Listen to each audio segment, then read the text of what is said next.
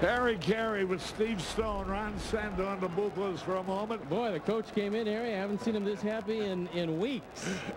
He was ecstatic today. Here's the first pitch. Mark Grace, who's two for three. Yesterday, he was three out of five.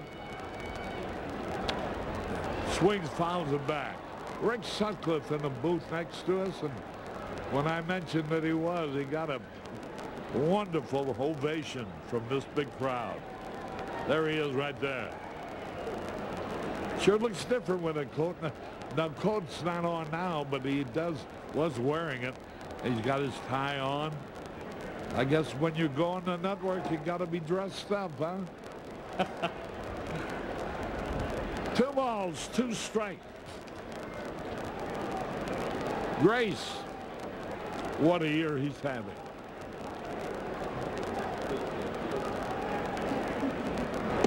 And one of the few times that he strikes out. He just did.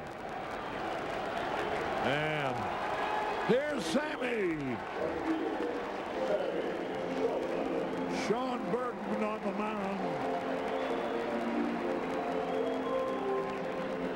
For the Padres. We're in the bottom of the seventh.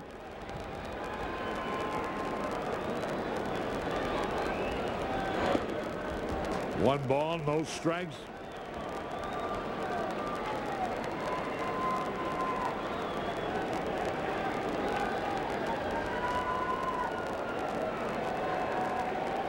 Tatis continues to warm up in the bullpen.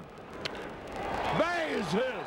Uh, he may still get a double. He now has, for the day, two singles, a three-run triple, and a homer. And a sacrifice fly. But he didn't drive any runs with that one, Harry, so he's slumping. But he still could get another time at bat in the eighth. 15 to 5 in favor of the Cubs. Boy, Sammy. And everything he has hit, even his sacrifice fly, well hit. The home run in spite of Arnie Harris's mistaken measurement. Oh, just a gross underestimation is what he, it is. He, he, uh, he says it only went 435 feet. It went way past that house with the Budweiser sign on top of it. So it had to go 500 feet. Two balls, no strikes. There's Sammy.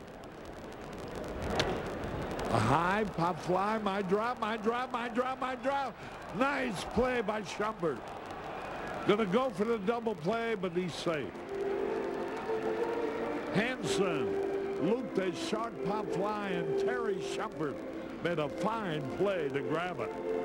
Good effort by Shumpert, who started the game at shortstop, and we'll watch it again. Shumpert comes on, and he made the catch. Yes, indeed. It was a nice Good catch. play. So two men are out. Sammy's at first. And here's Hernandez getting a chance to start the ball game. He's two out of four. Started a big eight-run inning in the third with a base hit.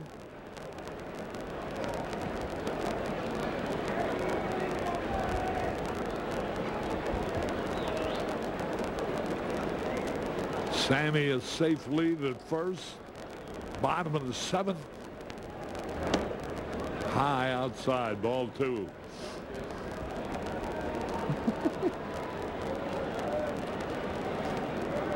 You think we'll take over the league in hitting after today? I think we'll be a little short of that, but certainly the batting average will rise dramatically. Now the pitch.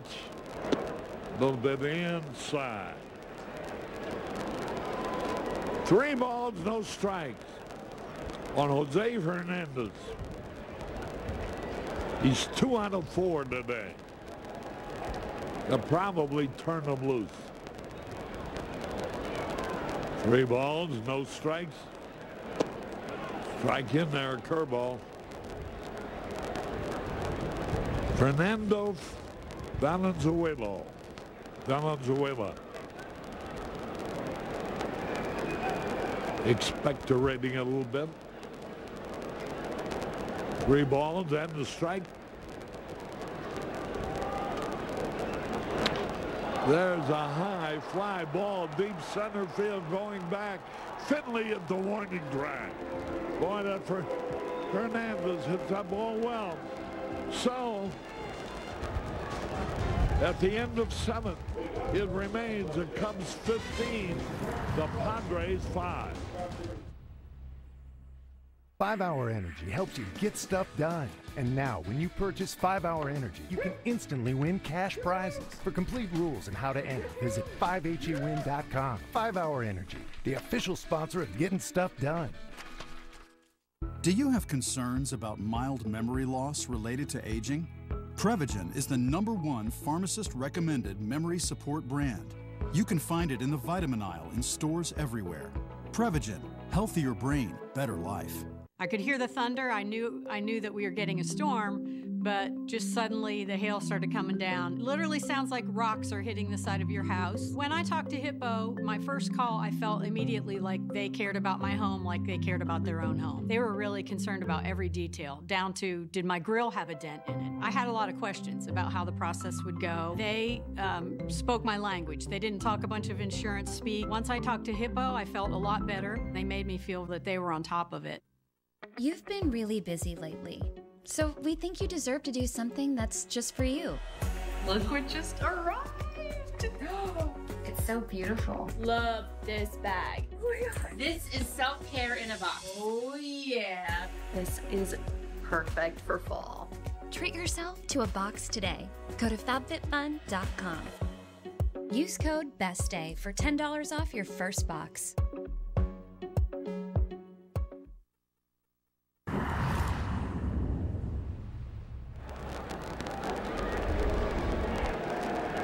Harry Caray and Steve Stone. Scott Servais has shifted from catching to first base. And uh, Hubbard is behind the plate, Mike Hubbard. And Ramon Tatis is the new pitcher. And Foster will be the winning pitcher. And Tatis on for the 10th time, an ERA and even three. Kevin Foster went seven innings, gave up five runs, only three of them earned. On seven hits, he fanned five and didn't walk anybody in a good performance by Kevin Foster. And he'll be the winningest pitcher on the staff. Nuxhall, or rather, uh, Mulholland. Thinking of Joe Nuxhall, and who broadcast from Marty Brennaman, Thom's father in Cincinnati. Youngest player ever to pitch in a major league game is only 16 when he broke in for Cincinnati. But Mulholland will pitch for the Cubs tomorrow. He'll be going for his fourth victory, something that Kevin Foster will have accomplished today. And the ball is sharp. Sanchez throws him out.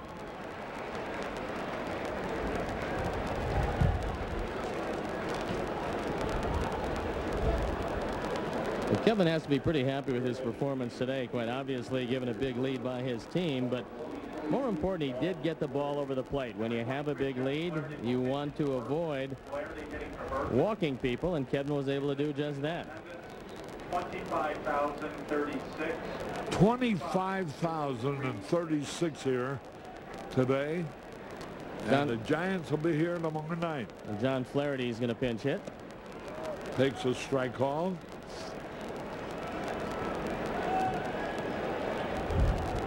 One man out.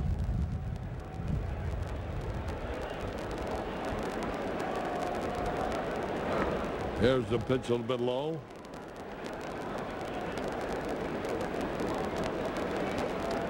The outfield bunching Flaherty towards center. Three home runs, 14 RBIs. Good cut, but he missed. Tomorrow's game starts at 7 o'clock tomorrow night. Here are the pitches. Mark Gardner from the Giants. And Amaury Telemaco goes for the Cubs. There's a pitch foul on a play. Cubs will be going for their third win in a row, which will be the first time they would be able to do that. And they could make this quite a homestand with a very good series against the Giants.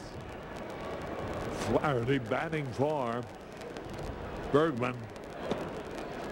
The pitch, two and two. One man out, nobody on. There's Jim Riggleman, the manager of the Cubs. He doesn't look any different than he always looked. He's a very composed young man. Here's the pitch a little bit low. And that's something good to say about a manager.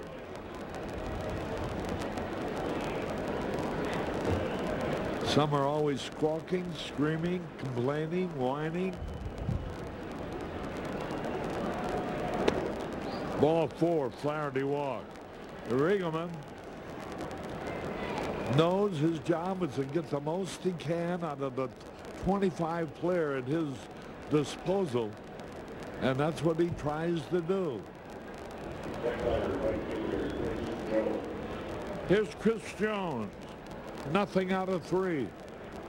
We're in the top of the eighth.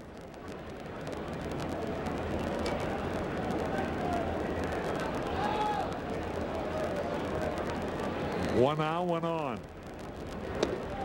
Pitch a little bit high. Well, I have to go over to Coq d'Or tonight and the Drake and see Buddy Charles.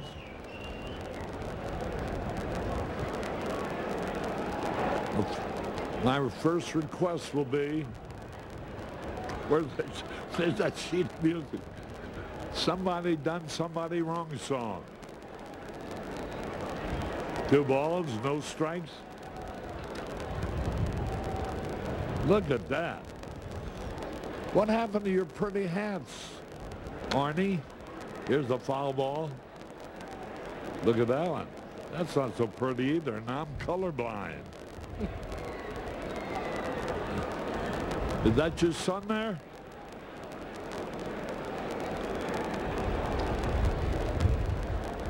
Oh, yeah, they're still watching the game with the Cub hat on.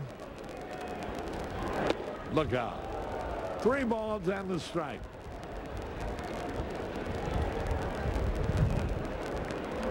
This game started at 220.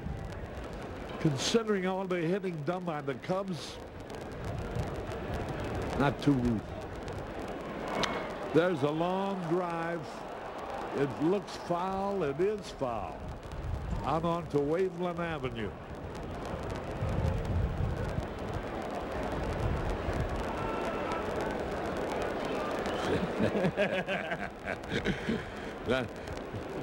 hey, that means the Cubs win the pennant in 2000. Yeah. Three balls, two strikes. Bouncing ball up the middle. Nice play by Hernandez for the force out. Boy, the more you see Jose in there, the better you like him. Another good play. I think Chris Jones was surprised that this wasn't a base hit. There was no chance for any play at first. But Jose Hernandez going up the middle. The force out to Sanchez. And that's all they could get. Let me ask you this. What pitcher do you think has worked the most shutouts in the National League this year? By himself? Yeah. this it make a good Nissan question? Oh, how about Pedro Martinez? No. I, you know, if I asked this question, it's somebody you wouldn't think of. okay. Roger Bailey for Colorado. Two shutouts. Personally. Individually. No other participation. Are you surprised? Well, I remember he had a very good run at it. Oh, and two the count. Archi Cianfrocco takes the pitch low and inside. Now I know why these uh, all these statistics are good to have. to play Nissan trivia questions with. Two men around. A high drive. Way back. Right field corner. And the catch is made. A fan tried to catch the ball, but Sammy Sosa made a one-handed catch in foul territory to retire the side.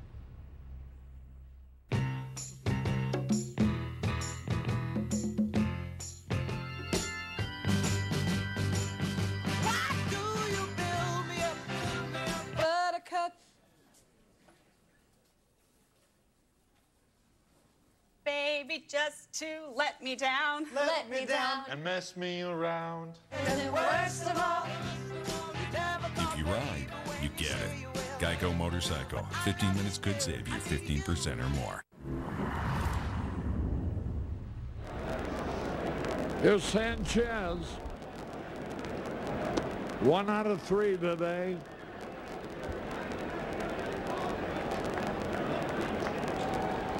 We're in the bottom of the eighth. Joey Long comes in to finish it up. Here's the pitch swung and missed. Joey Long, a left-hander. On for the eighth time. An ERA of 1080. Here's the highest ERAs. And Joey is third. Pitch is high outside. Two outs, two strikes. A night game tomorrow night, 7 o'clock. Barry Bonds and the Giants will be here. There's a high foul ball out of play. Two and two. I guess Mulholland will pitch the Sunday game. Sunday, it'll be Terry Mulholland and Shawn Estes, a battle of Yeah, left-handers. left-hander, right. And Mark Gardner and Amaury Telemaco tomorrow night. There's a pitch a little bit low. In the C in the series finale on Monday, it'll be Steve Trachsel against Osvaldo Fernandez. And the Giants lead the West. Three balls, two strikes. Pop foul out of play. You know, I got a feeling that Telemaco, it's a very important start for him because they got to make room for one of these guys, Gonzalez, Jeremi Gonzalez, or Kerry Woods. Here's a line drive right to the right fielder. Sanchez lined hard. And uh, you got to have a, a set rotation of starting pitchers. And if you got them, if you think you're going to make up ground, you got to have starting pitchers that have a chance to win, and who's a, a talent would impress you as having a chance to win. And this is also a critical game as far as the Cubs are concerned. They'd love to have a three-game winning streak. Here is a base hit by Servais on his way to second base. Scott Servais, with a lot of people from Wisconsin in over the weekend to see him play. Double to right center. And Scott Servais is a triple shy of the cycle today, so a big day for Servais, a huge day for Sosa. And this one getting by Steve Finley. He's taken the wrong angle on a few fly balls in this series, so Steve just coming back off the disabled list. And the Scott Servais fan club. Boy, oh boy. 20 hits today, good for 15 runs. Two doubles, two homers, one triple, and the rest single. Mike Hubbard will replace Servais behind the plate with Servais shifting over to play first base.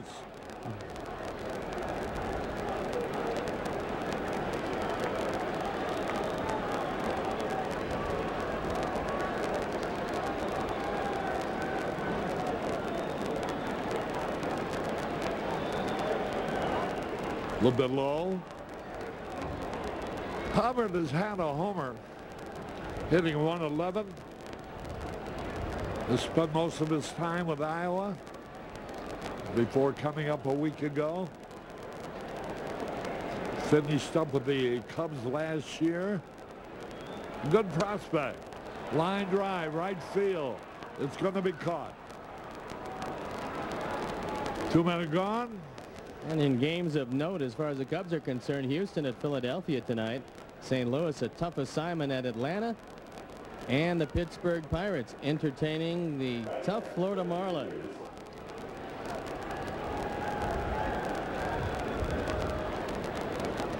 He's got three hits today.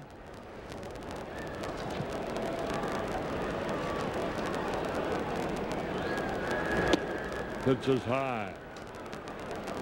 Stay tuned after the game for the GMC game highlights that Josh Lewin will have for you. There's uh, Kevin Foster tossing that ball up in the air. One ball, one strike. Almost hit him. Boy, uh, McRae's had a great series. He's had seven hits in the three games. Two out of five, two out of five, and three out of four so far today. Bounces in front of the plate, a wild pitch. And Servais advances to third. That one bounced well in front of the plate. No chance for Don Slaught. It's about a 53-foot fastball. Three balls and the strike. That one just barely exceeded the grass. Boy, unfortunately, there's two out. McRae, Glanville, Grace, before you get to Sosa. He swings and he misses. I'd like to see Sammy have a chance at that Cub record of nine, B, uh, nine RBIs by an individual player in the game. Three balls, two strikes.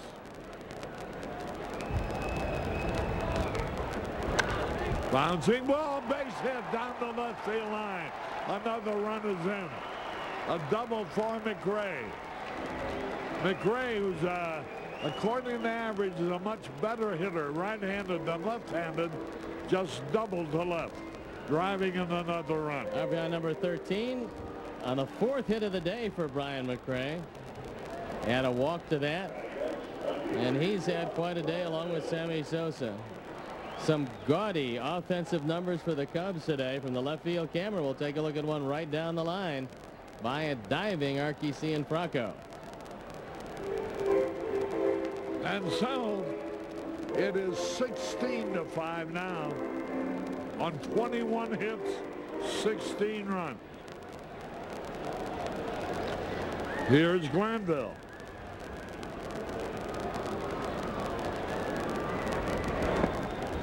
A little bit outside.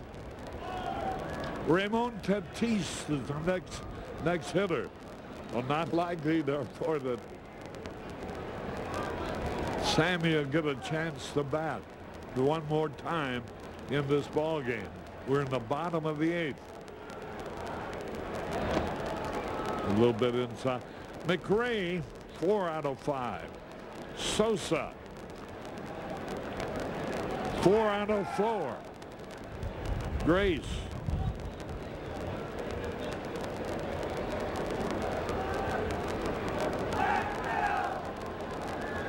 Two balls and the strike. Ground ball to Sharp. Over the first to retire the side. One run on two hits. One left. At the end of eight, the Cubs are leading 16 to 5.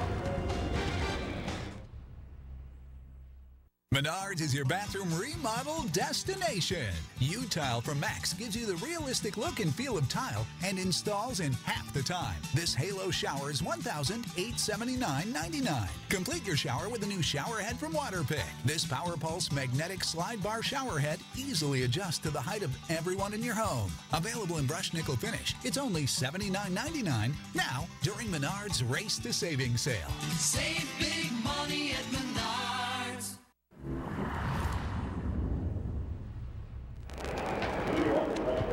Caray and Steve Stone back at Wrigley Field. We're going to the top of the ninth.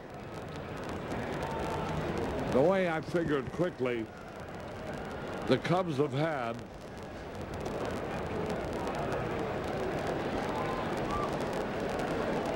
No, that don't add up right. I think they've had three doubles,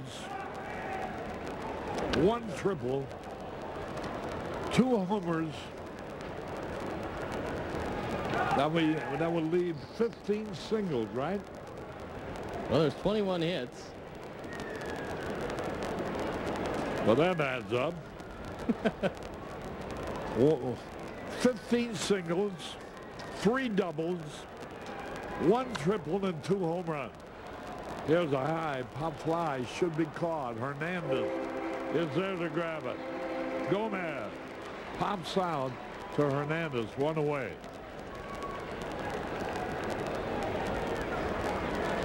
You know, that guy has been here since uh, a week ago. And I don't think he, I think he shaved then a week ago, and he still hasn't shaved. Nobody would believe, Arnie, that he shaved this morning. They might believe he didn't shave for a week, though. Remember tomorrow night, a rare Saturday night game. Barry Bonds and the Giants, who lead the Western Division. There's a ground ball down the first base line. A base hit. Carlos Hernandez.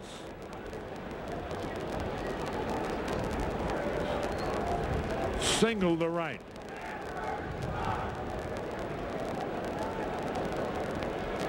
Boy, Bruce Bochy. Been a long day for him. Not only a long day, Harry, but since a 4 and 1 start, the Padres will be 10 and 23. And certainly injuries have played a big part in that. But his team's just really struggling, and middle relief has been difficult. And Joey Hamilton hasn't been available. He's one of their most dependable starters. And now with Andy Ashby having a tender elbow, it's been a rough go for the Padres. Don Slaught flat out his only other time up today. Veteran receiver of 16 years duration. I think the Cubs, Harry, would have a hard time working up sympathy, though, as far as the Padres are concerned after what's happened this year. The Cubs have their concerted efforts now to catch St. Louis.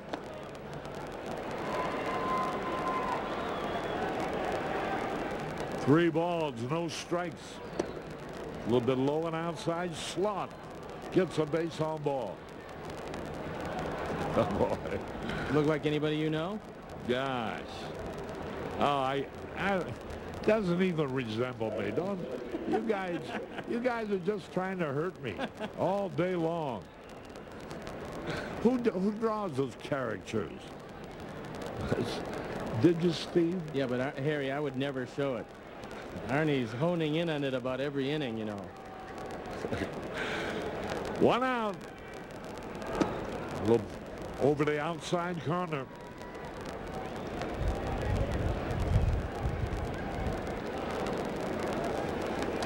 Josh will have the 10th inning show following the ball game. Line drive, base hit by Finley. There's a run going to score. Another man going to third. So Finley gets his third hit of the day. He's three out of five. And Finley's now driven in 16 runs for the year. But the Padres refuse to go quietly. As they've got a couple of hits and a walk. And a couple of singles and a home run for Steve Finley. And so now it's 16 to 6. And here is Terry Shumpert. Shumpert, who started the game playing second and then moved out to left field and made an outstanding catch. 0-1 the count.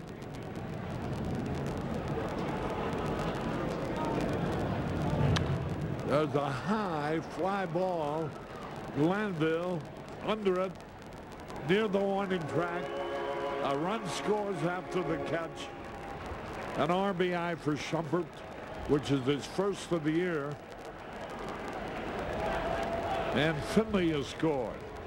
And it's 16 to 7.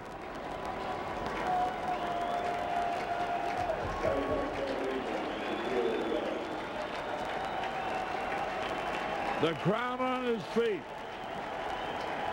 Here's Veras, the second baseman. Came into the game late. This should be it. Up with it from Hernandez to Sanchez. And the Cubs win. The Cubs win by the score of 16 to 7. And there is Kevin Foster from Evanston, now leading the pitching staffs in total victory. He's the only one who has as many as four. 21 hits for the Cubs, 16 runs. And here's Sammy with four out of four. What a day he had with uh, six RBI.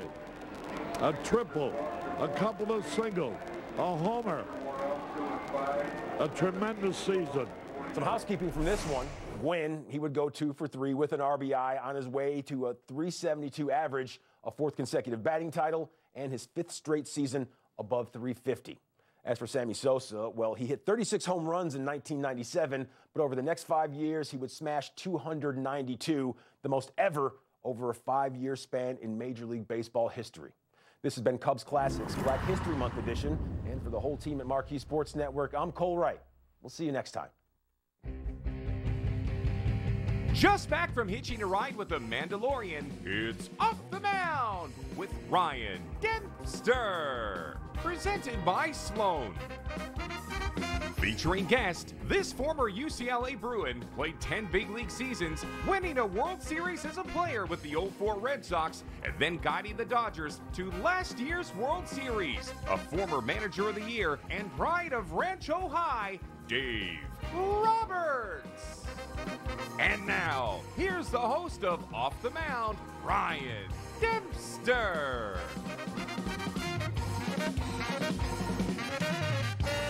Good evening, everybody, and welcome to Off the Mound, presented by Sloan. I'm Ryan Dempster. Pleasure to be with you again every Friday, as we are. Um, we're thrilled this month as we celebrate Black History Month and the Black History of the Game. And with that, we are super honored tonight to have the manager from the World Series champion Los Angeles Dodgers, Dave Roberts, is going to be stopping by the show. Um, Dave, of course, making history as only the second ever black manager and first ever Asian manager, Japanese born, uh, to win the World Series as a manager. Incredible, incredible stuff. Uh, going to catch up with him about uh, the past season, uh, his career, moments in his career. Him and I's match up together. Always not the friendliest, but uh, a lot of laughs along the way. So thrilled to have him stop by. Well, here we are, um, a week away from spring training, getting ready to start. Uh, two weeks from full teams being born and ready to go. And uh, it's that time again. It's exciting. Uh, when we thought we weren't even going to have a season last year, and then boom, uh, we did. And now we, here we are uh, with the anticipation of playing a full 162. So let's cross our fingers and hope that happens. Um, to me, spring training was probably as much fun as you were going to ever have during the season. It was a lot more relaxed. Um, the interactions with the fans, uh, you know, the, the field and ground balls in the backfield, the taking batting practice, uh, you know, on field five uh, with your buddies, um, to the early morning workouts, to the dinners and the, and the, team camaraderie, the things that you would do to bond together and start, um, you know, generating that trust and those relationships with that current team that you were going to be on that season, um, all the while building towards winning a championship. Um, we're always so special. But not just that. No, there were moments where um, you learned a lot. Um, you know, you had this, this surprise. Who was going to show up out of nowhere and make a ball club that you least suspected? Um, that happens every spring training. We don't know who it's going to be. Uh, it's going to be somebody, and they're going to make an impact in a big way out in the field. Um, there's going to be moments, teaching moments, things that can happen. Um, for me personally, spring training of 2005, uh, on the backfield. I've told this story many a times. Uh, getting ready to throw a bullpen and trying to figure out a changeup. My whole career, I struggled with it. How do I throw a changeup? Well, you know what you do? You ask a Hall of Famer. That's what you do. Uh, Fergie Jenkins was on the backfield. He was down there for some special assistant work, just uh, helping out, um, trying to give some knowledge. And boy, did he give me knowledge that really changed the trajectory of my career. That's right. He said, Ryan, just go ahead and grab the ball like this, split your fingers apart, it, put the ball in there, put your thumb up on the side, and there you go. How about a little bit of a split changeup? Well, I go to the backfield to throw a bullpen. Larry Rothschild's back there. I give the catcher one of these, little changeup sign, and boom, bottom falls out of it. And Larry looks at me, he's like, What is that? And I said, I don't know, it's a changeup. Fergie just showed me a grip, said, Try it. He said, Well, throw it again. I threw it again, bottom fell out of it. And Larry looked at me and said, All right, we found you a changeup. That's what we're going to go with. And the rest is history. It really changed my career. Um, it altered my ability to get left handed hitters out for the first time, really. Um, so, special, special moments that you least suspect happening um, can take place at any point during spring training, um, and, and they really can change somebody's career. So, I look forward to spring training. It's always a great time. Everybody's tied for first place. Everybody's excited to have the best year of their career. Um, the smell of the grass, and uh, you know, just ball games being played again, the crack of the bat, all that stuff, those great sounds, those great smells of baseball, and a new championship season uh, being birthed. So uh, we're so excited for that to happen, and we're very, very excited for the manager of the Los Angeles Dodgers, Dave Roberts, going to be stopping by. We take this short little break, and we'll be back with Off the Mound right after this. Join us each week for the Off the Mound with Ryan Dempster podcast, presented by Sloan. Don't miss the in depth conversations with some of the biggest names in baseball, plus celebrities, musicians, and more. You think you know uh, what a manager uh, goes through as a player, but you have no idea until you actually go through some of those conversations or decisions and the kind of ups and downs of the season. Download and subscribe to the Off the Mound with Ryan Dempster podcast on Apple Podcasts or Spotify. And it's all presented by our good friends at Sloan. Great day on the lake. It is. Lunch is cooking. And I saved a bunch of money on my boat insurance with Geico. Oh, yeah? Fellas, can it get any better than this? Whoa. My old hairstyle grew back. so did mine. What? I was an 80s kid. It only gets better when you switch and save with Geico. 5 Hour Energy helps you get stuff done. And now, when you purchase 5 Hour Energy, you can instantly win cash prizes. For complete rules and how to enter, visit 5hewin.com. 5 Hour Energy, the official sponsor of getting stuff done. Catch top stars at the first Grand Slam tournament of the year, the Australian Open on Tennis Channel. Watch the battle to come out on top, down under. The Australian Open, live daily on Tennis Channel. Check your local listings. Your family will fall in love with the Croods, a new age. Let's do it. This is amazing. What do we do? What do we say to each other? What's happening to our voices? Why are our voices getting so It's perfect family fun. See that Croods, a new age. Connect your DVR to the internet to buy today. Visit www.directv.com slash get connected to learn more. I could hear the thunder. I knew I knew that we were getting a storm, but just suddenly the hail started coming down. Literally sounds like rocks are hitting the side of your house. When I talked to Hippo, my first call, I felt immediately like they cared about my home like they cared about their own home. They were really concerned about every detail, down to did my grill have a dent in it? I had a lot of questions about how the process would go. They um, spoke my language. They didn't talk a bunch of insurance speak. Once I talked to Hippo, I felt a lot better. They made me feel that they were on top of it. Hey, welcome back, everybody, to Off the Mound, presented by Sloan. Well, we are thrilled and honored to have this guy stopping by the show. He is the manager of the World Series champion Los Angeles Dodgers, Dave Roberts. Doc, how are you, man? Thanks so much for joining us. Demp, I'm doing well. Um, it's been a long time since we had to chat. Um, I'm living my best life, like you said, coming off the World Series championship. Now I'm at home in San Diego uh, spending time with family, raring up to go. So as we sit here right now, I've got a few more days, and I'm heading to uh, Glendale. I know. Can you believe it happens so fast, right? Like here we were just a short time ago. You're on the field in Texas, winning a World Series. Now you're two weeks away from pitchers and catchers being there. It's crazy, and and it's and I think it goes with 2020 with all the uh, uncertainty and all the unique times. So in baseball uh, is no exception. So you know, with all the rules, there was talk about pushing things back, but I think uh, as as of right now, we're going to move forward and you know adhere to protocols and get pitches and catches here. And I got my first uh, meeting on the 17th, so I just got to wrap my head around that, and uh, I'm excited to go and uh, and uh, defend our championship. How about that? I, I'm curious, and like I, you know, haven't had a chance to talk to you about this, but you guys for you know years in a row, right? Going to the NLCS, going to back-to-back World Series, uh, going to the DS, then getting there and finally getting that opportunity to say you're champions. What was that feeling like of chasing that carrot for so long and then finally just getting to eat the heck out of that thing? I, think uh, the chasing uh, is relevant in that my first initial uh, emotion was relief. And I think that me as a, as a manager, I didn't appreciate or give credit uh, to, um, and didn't want to uh, intentionally, of the pressure uh, of having to bring a championship back to a city uh, after 32 years. Um, but once we, and, and kind of getting up to the top of the mountain and then uh, failing and trying to do it again and again. Um, so once we, uh, you know, Julio Urias made that last out, got that last out, there was relief and then shortly thereafter, in the days following, there was a lot of uh, joy and elation. But I didn't appreciate how much kind of uh, pressure I was kind of, uh, you know, fighting off for so many years. You are a man of of two different races. You're black. You're Asian.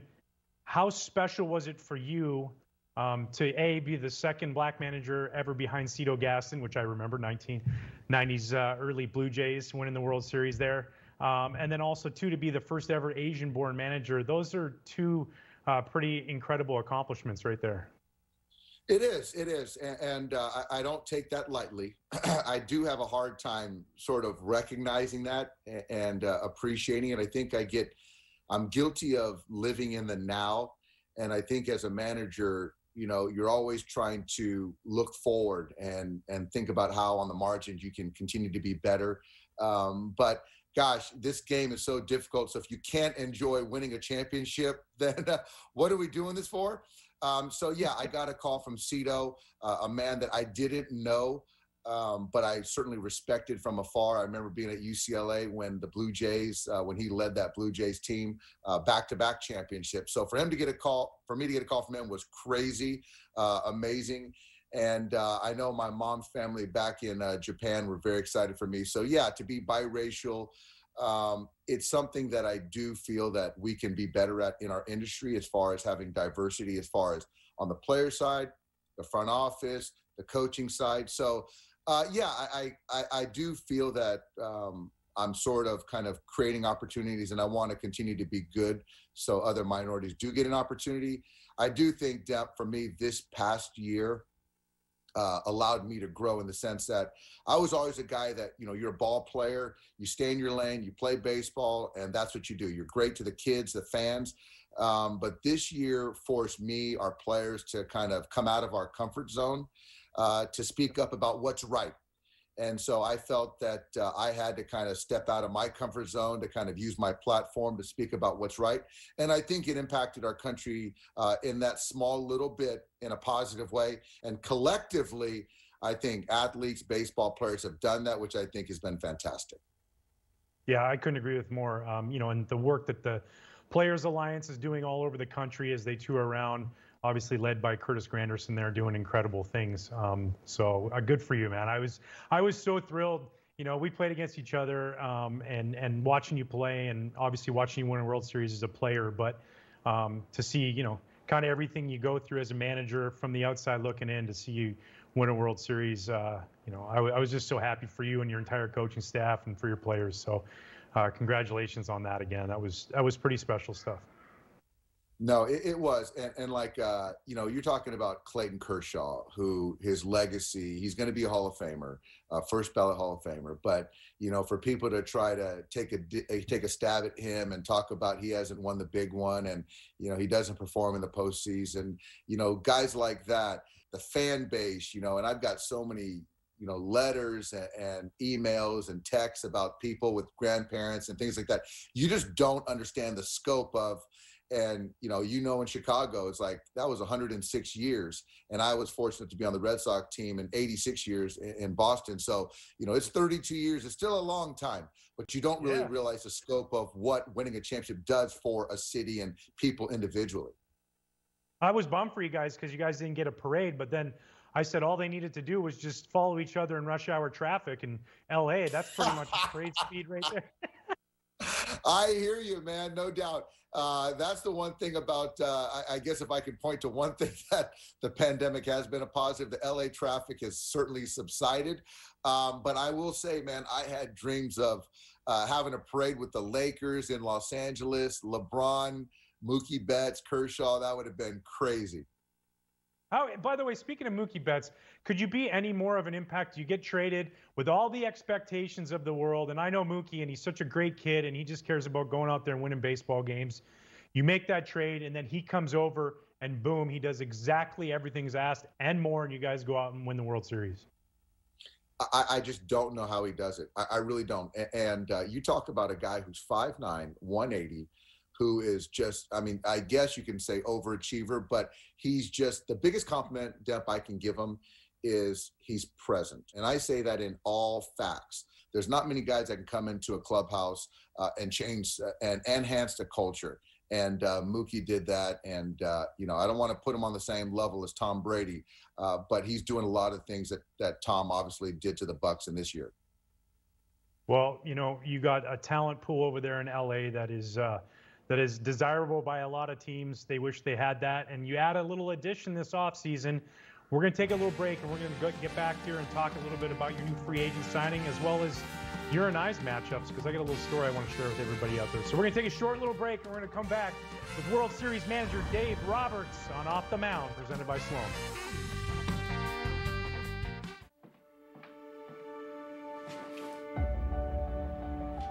Time to get up, sweetie. Most people might not think much about all the little things they do every day.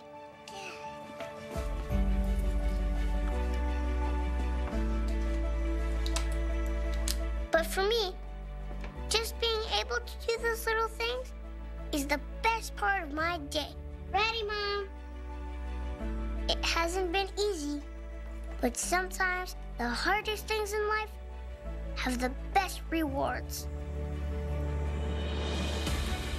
And it's all because of my amazing friends at the Shriners Hospitals for Children and people like you who support them every month. When you call the number on your screen and just give $19 a month, you'll be helping other kids like me do the amazing things that make up the best part of our day. Because Shriners Hospital is more than just a hospital. It's when my back is better, where my legs get stronger, where I get to be a kid where it's the best part of my day. With your gift of just $19 a month, only 63 cents a day, we'll send you this adorable Love to the Rescue blanket as a thank you.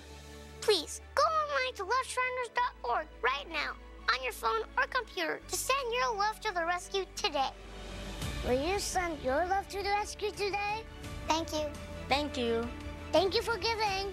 Because at Shriners Hospitals for Children, Going to the hospital is like going to see family. It really is the best part of my day. Please, call or go online right now to give. If operators are busy, please wait patiently or go to loveshriners.org right away. Your gift will help kids just like me have the best part of our day. You've been waiting for retirement. That means a trusted Medicare plan from Blue Cross and Blue Shield of Illinois is waiting for you. If you're 65 years or older, choose a plan that gives you more peace of mind for those moments ahead. Through it all,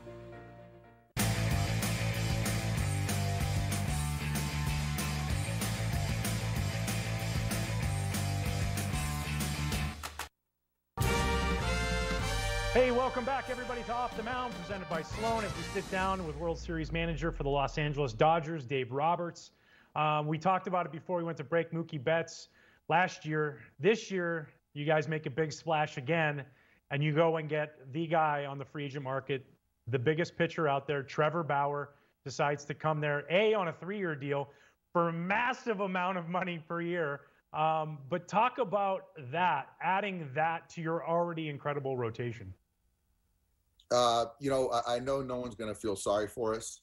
Um, obviously, Trevor was the number one free agent on the market, and you win with pitching, um, pitching depth, elite pitching. Uh, our our goal as a, with the Dodgers is to win the World Series every year. And so when you're talking about winning 11 games in the postseason, or last year 13 games uh, in a postseason, uh, you know, he was a guy that I loved our starting staff before Trevor, but this is a guy that was from Los Angeles, went to UCLA, and really wanted to be a Dodger and always wanted to be a Dodger. And I had a conversation with him a couple days ago about, you know, being in the nosebleeds with his father and his first baseball game and hoping one day to become a Dodger. And, and so now uh, for us, ownership, Mark Walter, uh, Andrew Friedman to kind of make it happen with his representation. Um, I'm certainly excited. I know Clayton, uh, Walker Buehler, all these guys are thrilled. So he just makes a very good team uh, that much better. So I'm thrilled to have him. You as a manager, um, incredible. You've been doing great stuff. Manager of the year, now World Series champion. But I want to go down a little bit of memory lane with you. You as a player. Um, first of all, drafted twice out of college, never a high draft pick. You know, twice out of UCLA, and then you know you just do your thing and get to the big leagues and have a 10-year career. Uh, you know, what was that like just knowing, you know, that you were good enough, but teams weren't quite giving you the credit, but then you were able to just go out there and get a chance to play and, and do your thing. Um, do you see that and be able to pass that story along to younger players to be able to help them out? Yeah, I, I do. I do. Dan. I, I, think for me, it was it was that chip on my shoulder. I went to UCLA and I thought I performed well, and and obviously didn't uh, reflect on the scouts' decision and team's decision to draft me. I was drafted low. I signed for a whopping thousand dollars, um, but that was a chip on my shoulder. And I, I, think that you know, in baseball where we play, it's always a, a marathon, not a sprint. You know, you talk mm-hmm. about players and coaches always talking about there needs to be a sense of urgency. So for me, uh, I always had that sense of urgency. I always had to play well and felt that every opportunity that, that I did get um, I had to earn and I didn't want to give it away and I want to take full advantage of it. So, um, being a 28th round draft pick, continuing to kind of work my way up the ladder, spending five years in the minor leagues, uh, that kind of motivated me every time I took the field. Um, you know, I was talking to uh, James Shields the other day. Uh, we were playing golf and, you know, he had a longer career and we were both talking about that we didn't leave anything on the table. We left it all out on the field. And for me, right now, as I sit here with you, is like I left it all out there on the field. And uh, respect of my teammates, my coaches, I think I've earned that. And it started kind of me being drafted really late and having that chip on my shoulder. Um, speaking of competing out on the field, so we're playing against each other, and this is 2006, May 8th. I went and found the date. I looked this up, and I don't know if you remember this. I hadn't pitched in a week. I was closing for the team and we came to San Diego, and you guys were winning seven to three, and you lead off the inning and you drag a bunt for a base hit. Yep. Do you remember how mad I was at you when I looked over at you? so I do, I do, and you know what's funny is that the uh, the listeners are going to have a good time with this one because I'm an old school player, and everything that I've learned is that uh, as long as a grand slam you play until a grand slam can't tie the game. So for me we had just lost seven in a row something like that and then the dodgers came back. I was with the padres at that time. The dodgers came back and beat us in the ninth inning. And so for me to lead off the game and i didn't know you hadn't pitched in, in a week so i apologize Demp i love you but for me it's like i was leading off. I wanted to get that extra jug run so uh, grand slam couldn't tie it. So i lead off bunt base hit d leads at first He's pissed at me. You're pissed at me. Dusty's the manager. He's chirping at me. So then I'm mad. I steal second base. We score yes. another run. We win the game. And then I will say this we played you guys like a week later. First pitch of the game in Wrigley Field, I get drilled in the ribs by one of your pitchers. And then I was more mad. So then I stole second base again. And uh, score run, and then me and Michael Barrett got into it at some point in that series. But that's old school baseball, man. Yeah, I couldn't agree more. I think I was probably, Dave, more mad at myself for not being ready to field the bunt than I Yeah. was at you.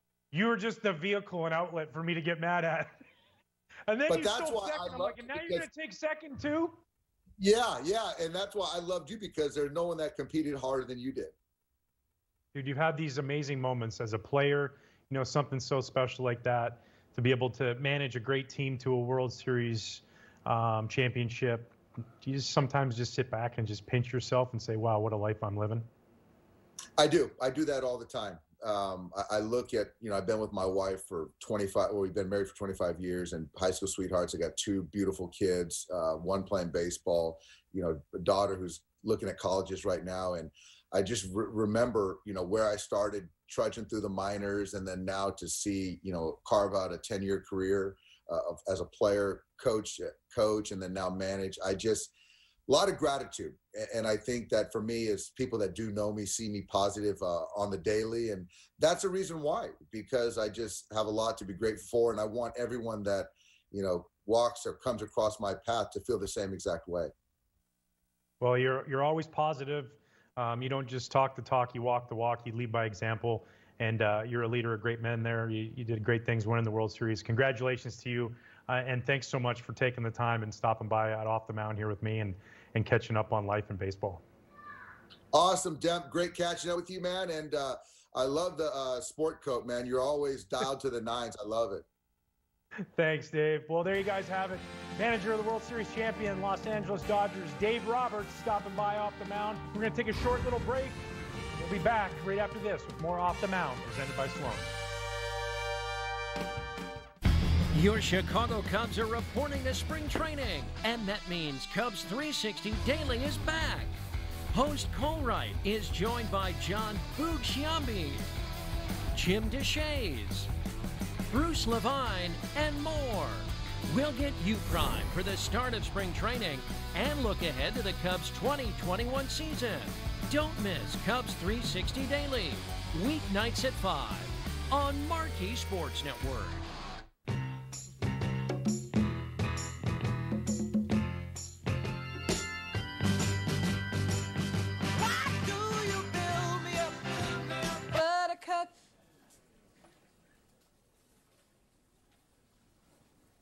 Baby, just to let me down. Let, me down. And mess me around. And worst of all, If you ride, you get it. Geico Motorcycle. 15 minutes could save you 15% or more.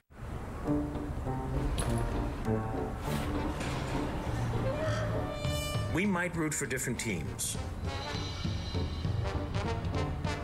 but we all respect the game. And we can all root for each other when we wear a mask.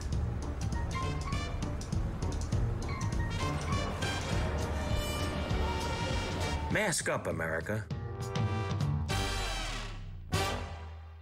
Do you have concerns about mild memory loss related to aging? Prevagen is the number one pharmacist recommended memory support brand. You can find it in the vitamin aisle in stores everywhere. Prevagen, healthier brain, better life. We are no stranger to adversity. Our bodies are made to be challenged, to adapt, to heal, and rebuild. At the Illinois Bone and Joint Institute, we know that getting knocked down just gives us an opportunity to get back up, better and stronger than before. Because while setbacks can seem relentless, our bodies are resilient, and the comeback is always the best part.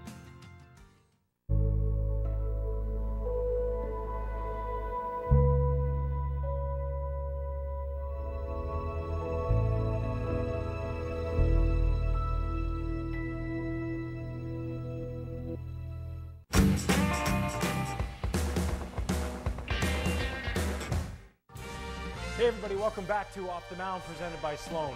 Well, here at Off the Mound, we've been celebrating Black History Month, and this week we want to highlight a Black Cubs player uh, that spent time in the North Side wearing a Cubby blue. Well, this man was not only a player, um, and a very, very good one at that on his time on the north side. He was also the hitting coach from 2003 to 2006. Uh, the Sarge, Gary Matthews. Uh, I came over to Chicago in 2004. He was already the hitting coach um, and instantly bonded with, with Sarge. Uh, the many stories and laughs we would share, he was always full of knowledge, insight, um, and I love just kicking back and, and, hearing some of the old stories from the game. He came over at the end of spring training in a trade in 1984. He played with an energy, with, with a passion, uh, with a love of the game, and uh, I'm going to beat you every day I walk out there type of attitude. Uh, he, he could beat you with his bat, he could beat you with his arm, his glove. He did it all. Um, I always loved the memories of watching Sarge, uh, you know, leg out a single into a double or a double into the occasional triple. But as he'd run around first base, as he's coming, he'd do that thing where he hits his helmet and his hat would pop off, his helmet would pop off, and that afro would come out. And he'd just go barreling in towards second base to stretch it into a double. He always played that way. It was fire, it was passion, um, and it showed. He had 266 on his three and a half seasons in Chicago, 48 home runs, 176 RBIs, and his best OPS that he had at any stop along his big league career. You had one of the most special bonds uh, with the Cub fans. Uh, the fact that you would hit a home run and then you'd go out to left field after the inning, the top half of the inning, and you'd be out there, and the whole bleachers would stand on their feet. They'd put their right hand up to their forehead, and you do your warm ups, you go about your business, and then after that last warm up toss, you turn around to the outfield, put your hand up, and you'd give them one of these, and the whole entire bleachers would do it back to you. That's a bond. Uh, that you have with Cubs fans for the rest of your life. So, on behalf of everybody here at Off the Mound, on behalf of myself, Gary Matthews, Sarge, we salute you. Well, that's all the time we have, folks. Thanks so much for tuning in this week. So great for Dave Roberts. Thanks to him for stopping by the show. You're not going to want to miss it. Next week, we got the Hall of Fame of the Hawk. Andre Dawson is going to be joining us right here on Off the Mound. Thanks so much for tuning in. Have yourself a great weekend. I'm Ryan Dempster. We'll see you later.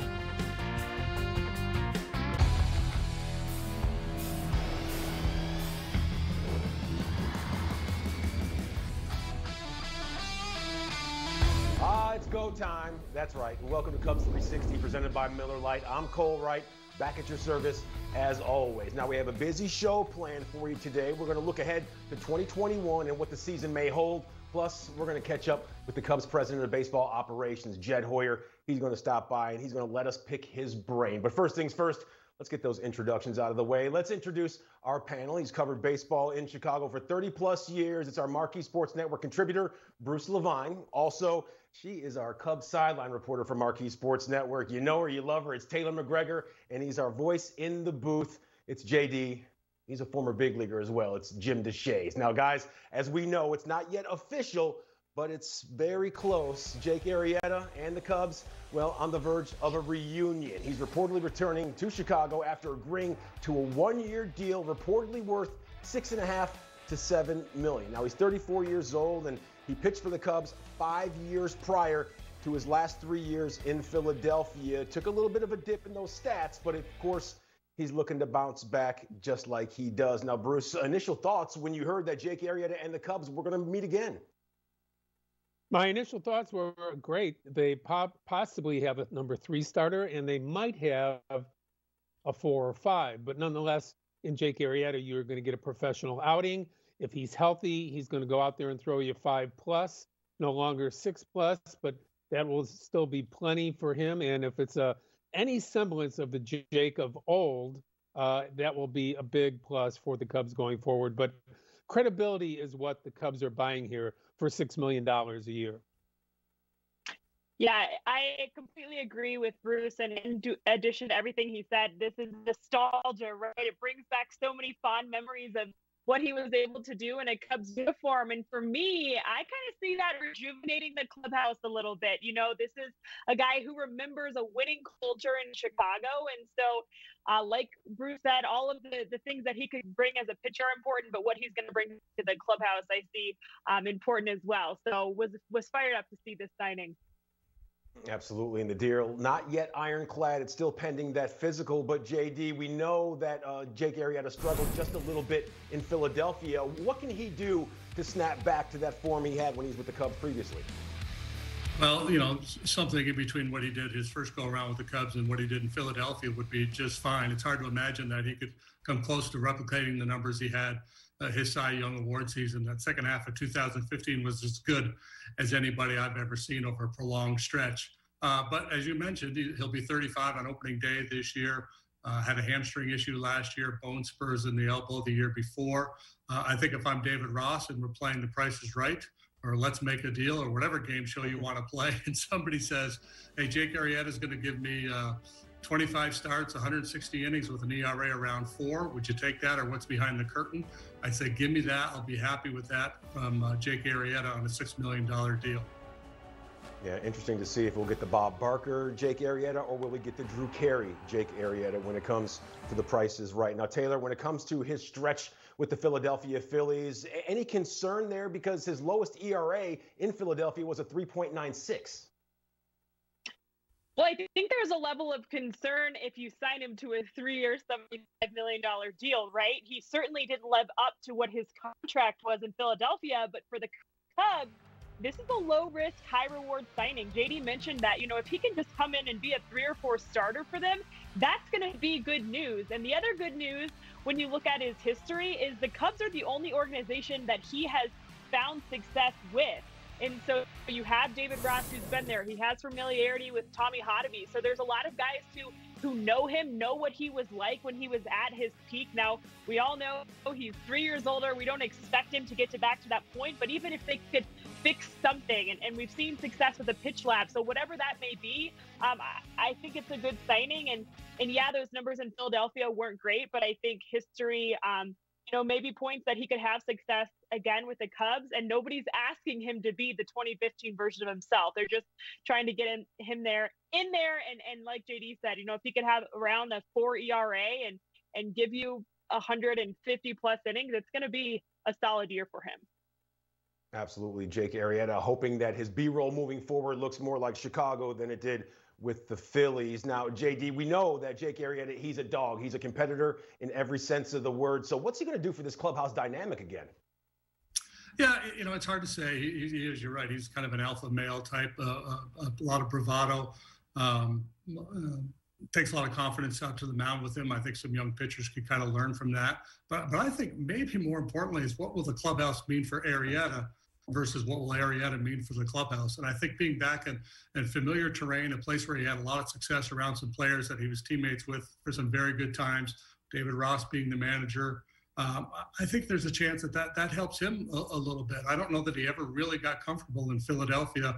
Um, he had some tough times over there. Um, so I think a return to Chicago where he had great success uh, and being in that clubhouse, being around those guys, uh, could give him a, a little bit of a, a boost mentally.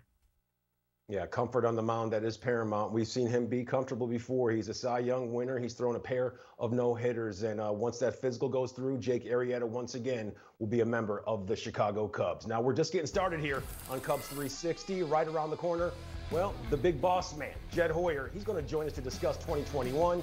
Jake Arrieta, plus some of those swirling KB rumors. That and more. It's coming up next, right here on Cubs 360, presented by Miller Lite. Hey, folks, I'm Ryan Dempster, host of Off the Mound on Marquee Sports Network. Well, just like any good interview, there's always the extended cut. You can listen to those conversations on our Off the Mound podcast presented by Sloan.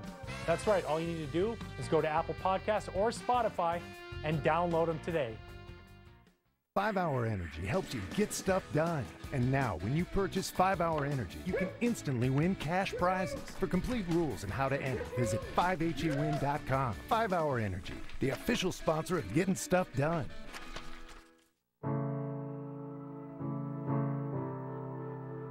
As many of the nation's most trusted hospitals, we all know this. The science has not changed.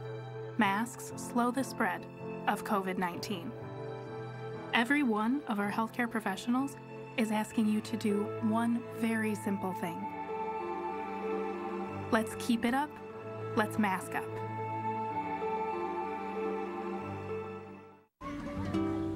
Right here, baby. The sooner you recognize the signs of autism, the sooner you can make a lifetime of difference for your child. Start by answering a few simple questions at screenforautism.org. I could hear the thunder. I knew I knew that we were getting a storm, but just suddenly the hail started coming down. Literally sounds like rocks are hitting the side of your house. When I talked to Hippo, my first call, I felt immediately like they cared about my home like they cared about their own home. They were really concerned about every detail, down to did my grill have a dent in it? I had a lot of questions about how the process would go. They um, spoke my language. They didn't talk a bunch of insurance speak. Once I talked to Hippo, I felt a lot better. They made me feel that they were on top of it. You're not getting any younger. I'm just hitting my stride. You're so old, you should have been planning for your funeral five years ago. You're almost officially dead. Oh, well, if I do drop dead, at least my family will get their benefits fast. Just call USA Family Protection. I did it, and it was one and done. No blood work and no doctor's visit. You're right. What? You said that I was right about something? Did anybody hear Said this? I see your point. Let's not get crazy here. USA Family Protection. Apply today by calling the number on your screen.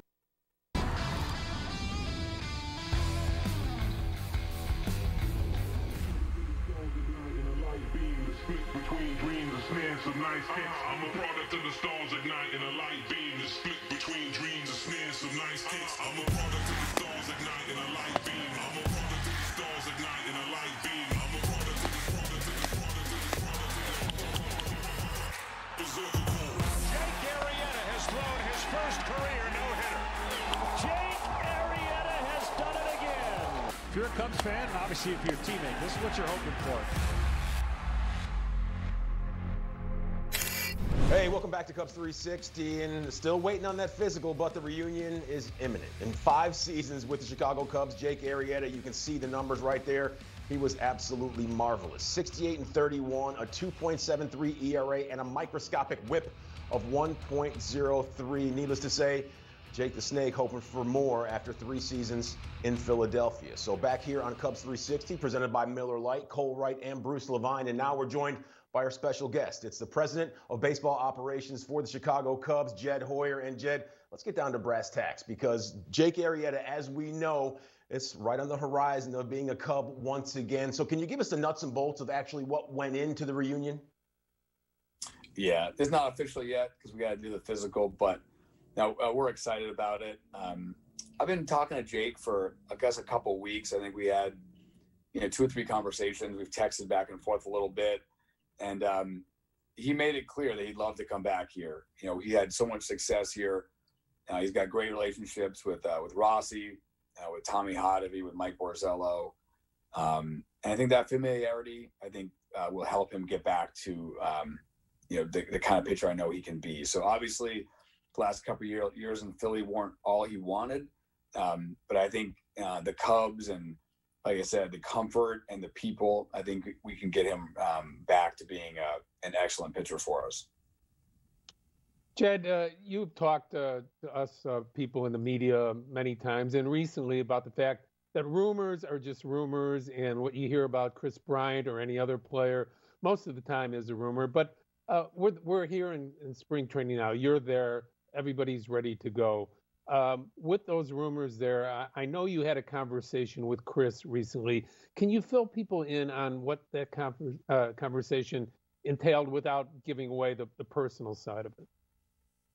Yeah, I mean, without giving away the personal side, you know, the gist of the conversation was just, um, please come to me and ask me questions if there's rumors out there. Um, so many of these rumors are, are, are have no fact uh, basis, and and I understand that you know people are going to comment on them. They are news, um, but I I didn't want you know him to to get bothered by them if you you know, being traded is a big deal. It kind of it kind of uproots your life and your your wife and your parents and everyone you know gets concerned about it. And so, if you have a question, just ask me, and I'll be honest. You know, yes, this is you know something we've discussed, or no, I haven't talked to them in three weeks, and there's there's nothing to it. And so that was the the gist of it. You know, besides the personal part of the conversation was just ask me, and I'll always just I'll, I'll shoot you straight um, because you know he's been awesome for us. We've known each other for a long time, and there's no reason not to do that.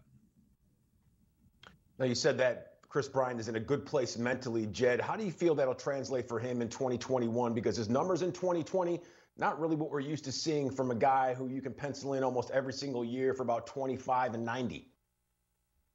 Yeah, and I think you could say that about a bunch of guys on our team. There's a bunch of guys that struggled.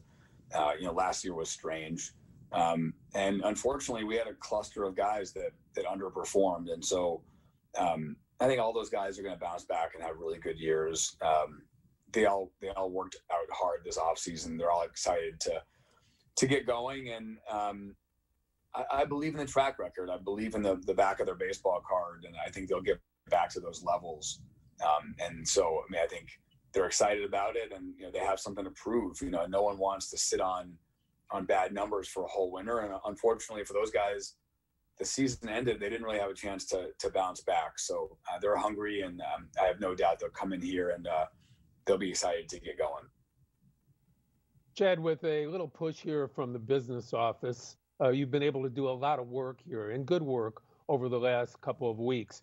Should uh, Cub fans expect a couple more additions to the bullpen? Is there another infielder that might be in the mix? Uh, wh- what can you do generally to tell us about uh, where you're at and more additions that you'd like to make?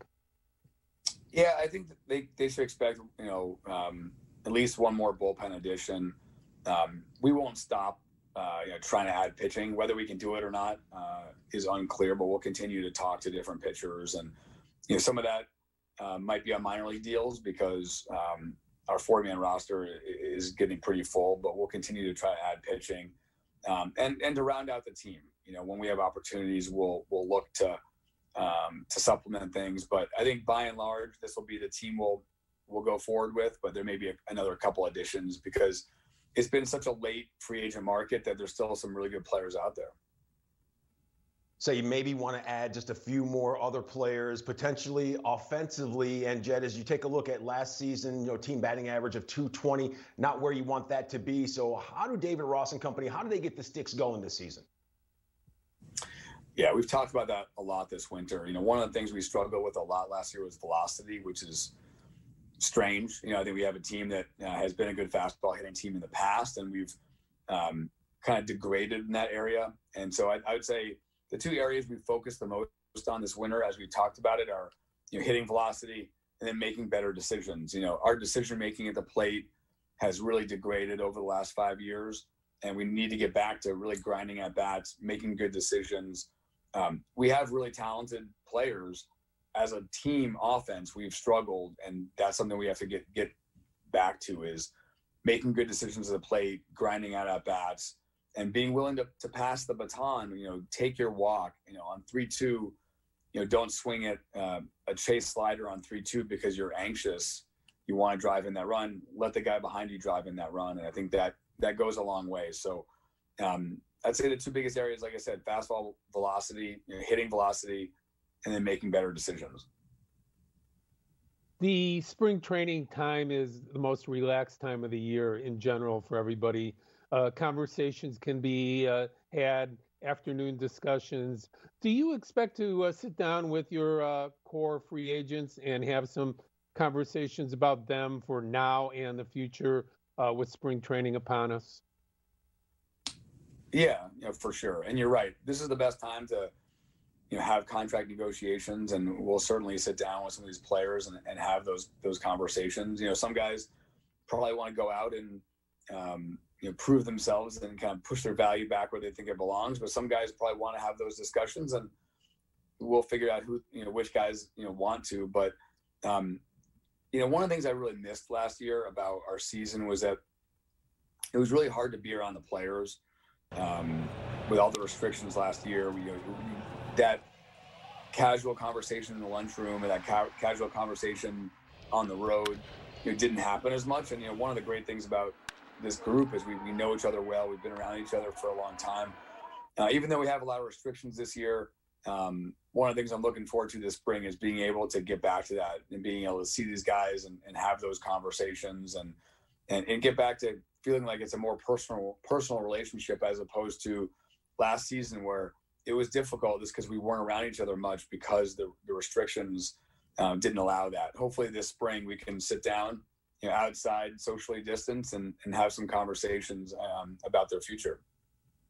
Absolutely. 2021, just like 2020, it will see a few different wrinkles, but as we know, it will be more normal than last season was. That was for sure. Jed Hoyer, president of baseball operations for the Chicago Cubs. Thanks as always for the time and enjoy that warm weather down there in Arizona. Awesome. Thanks, guys. Survive the cold and uh, you know, watching baseball in a couple weeks will make you feel better. So um, take care and I'll talk to you soon. Still ahead, more pitching talk on deck. Zach Davies, Craig Kimbrel, Jeremy Jeffress, possibly a free agent acquisition. We'll cover all the bases next, right here on Cubs 360, presented by Miller Lite.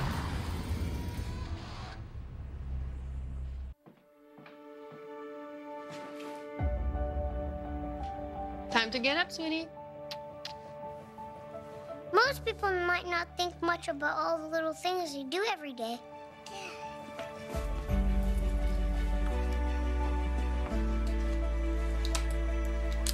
For me, just being able to do those little things is the best part of my day.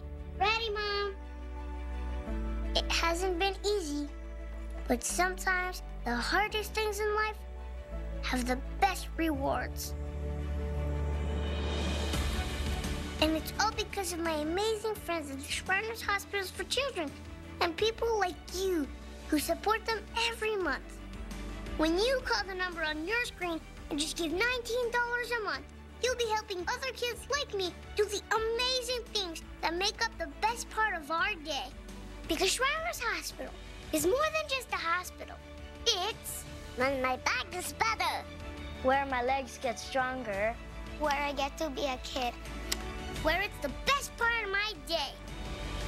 With your gift of just $19 a month, only 63 cents a day, we'll send you this adorable Love to the Rescue blanket as a thank you. Please go online to loveshriners.org right now on your phone or computer to send your love to the rescue today. Will you send your love to the rescue today? Thank you. Thank you. Thank you for giving. Because at Shriners Hospitals for Children, going to the hospital is like going to see family. It really is the best part of my day. Please call or go online right now to give. If operators are busy, please wait patiently or go to loveshriners.org right away.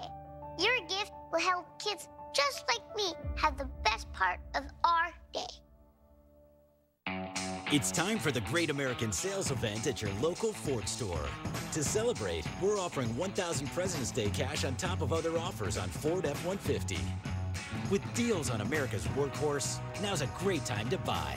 Shop in store or online before March 1st. For a limited time, get 1000 President's Day cash on a 2020 Ford F 150 for 7250 in total value. Celebrate during the Great American Sales Event going on now.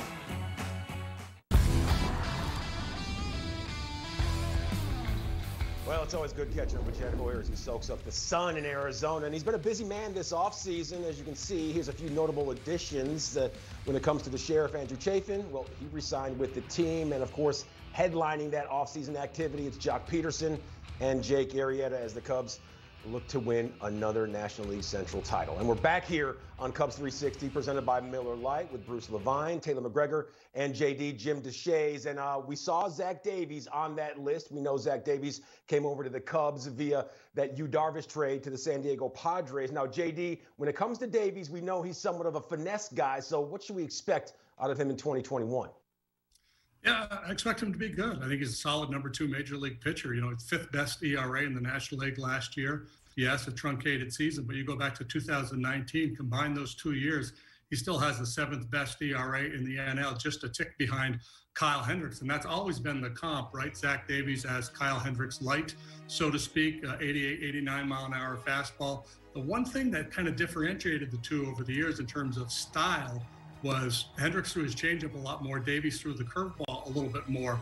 Um, but Davies reversed that last year. He threw his changeup over 40% of the time, way more than any other pitcher, any other starting pitcher in the league. And his swing and miss rate went way up because of it. His strikeout rate was up. So I, I think they've unlocked something with Davies over in San Diego. He went from a very solid major league pitcher to maybe uh, better than many expect. So I, I think he's going to be really good this year. Mm, that sounds good. And Bruce, we saw that full screen graphic of some of those moves that were made during the offseason. And you can never have too many arms in the bullpen, as we know. So when it comes to a potential free agent arm that could help out David Ross down the stretch, who, who do you think it would be? Well, for me, you need a guy like Trevor Cahill, and he's still a free agent out there. Former pitcher with the Cubs, 15 and 16. What you need in this time, uh, especially coming off of 12 or 13 starts, for all the pitchers last year in the truncated 60 game season is a swingman, a guy that can start and he can also relieve. And most teams are going to need six, seven, even eight starting pitchers because nobody expects to go 150, 160 innings this year. They are just going to slow roll the starting pitchers. So a guy like uh, Cahill, who can still pitch at age 32, would be a very valuable guy to add. What about my guy JJ? I mean, come on, don't you want to see his yeah. food truck outside of Wrigley Field? Does that have any pull for you, Bruce? Come on. No, but in all seriousness, watching JJ pitch last year, having David Ross trust him in those, those big time innings, he had a 1.54 ERA, which was the lowest amongst relievers with notable innings.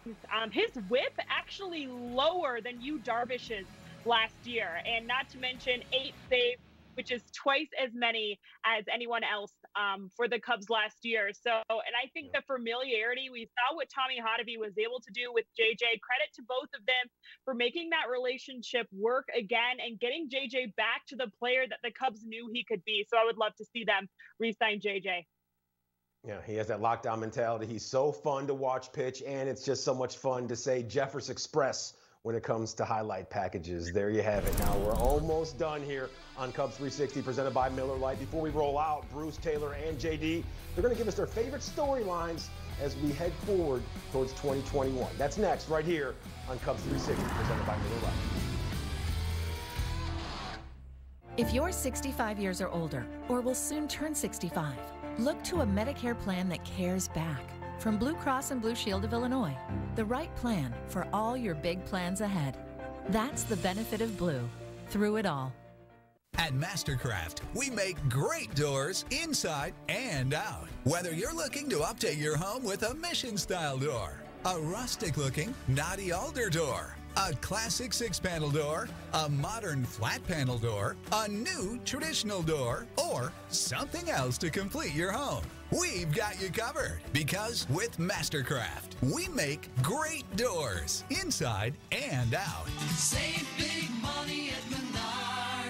5 Hour Energy helps you get stuff done. And now, when you purchase 5 Hour Energy, you can instantly win cash prizes. For complete rules and how to enter, visit 5hewin.com. 5 Hour Energy, the official sponsor of getting stuff done.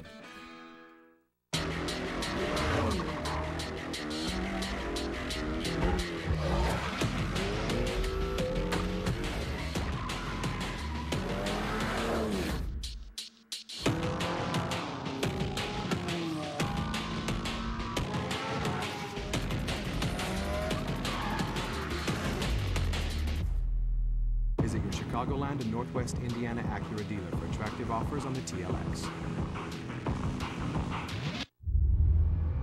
We are no stranger to adversity.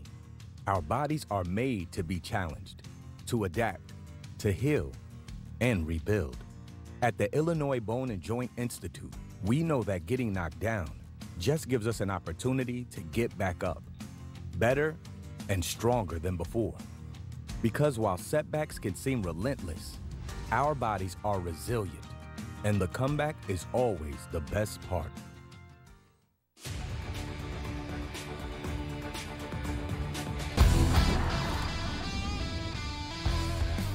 Back with you here on Cubs 360, and we know we can't be together physically, but we can still get ready for baseball with the week-long celebration of all things Cubs. Join us this Sunday for Cubs Unconventional, a week-long virtual celebration to help kick off the Cubs 2021 campaign. All week, fans can access exclusive Cubs content, engage in interactive experiences, and much, much more. So be sure to follow Cubs and Watch Marquee across all social media platforms and check in all week long to participate in the celebration. Now, when it comes to the season, it is right around the corner. Here's a few key dates. On Wednesday, oh, be still my beating heart. Pitchers and catchers, they get their first spring workout in. And then on the 22nd, the whole squad gets together. March 1st, well, it's going to be a spring thing versus the San Diego Padres. Who knows if that game will be on Channel 4, not in lovely San Diego. But then April 1st, it's opening day. It's a division affair. It's versus the Pirates. Now we're wrapping things up here on Cubs 360, presented by Miller Lite. Bruce Taylor and JD still in tow. And guys, before the season gets underway, of course, we need to get some of those intriguing storylines. And JD, I'm going to start with you. What's your most intriguing storyline aside from having a brand new partner in the booth? Yeah, that's a great story, isn't it? That's going to be a lot of fun. Um, well, what's the roster look like? Does Kris Bryant get traded? Does Jed pull the trigger and trade any of the other big name guys uh, on this roster? Obviously, everybody's going to pay attention to that. For me, um, starting pitching, uh, I'm very intrigued by how that all is going to shake out uh, with a focus on one guy in particular, Adbert Alzolay. You know, this rotation and the rotation candidates for the most part are a bunch of finesse style guys, 89 to 91. Alzolay is kind of the outlier. He's a guy that can go 95, 96. And you think about his last couple of appearances last year when he broke out that slider that he'd worked on down at the alternate site, that became a real swing and miss pitch for him. So he's that one guy in the mix that can really make a big leap from where he was last year to where he is in, in 2021. Yeah, and JD, just to build off that point, uh, with the rotation, there are still some question marks. I mean, we talked about Arrieta. That is a question mark of how he's going to perform this season. And um, I kind of remember last spring training, the big question mark was in the bullpen. There were so many new arms. How would they perform? And and you remember at the beginning of the season, there was a little bit of struggle. As of August 6th, which would have been a few weeks into the regular season, 7.30 ERA. They finished the second half or the rest of that season with a 3.6 ERA. So I'm excited to see how Tommy Hottovy and the pitching staff um, make these pitchers work and, and, the way that they can work their magic, if you will, on some of the guys who um, who look like they could be question marks going into this year. Mine is uh, all about Bryant Baez and Rizzo, how they perform in a free agent year how they respond to reporters asking them about coming back or being traded, and if they can re- come back and find the magic that was there before 2020.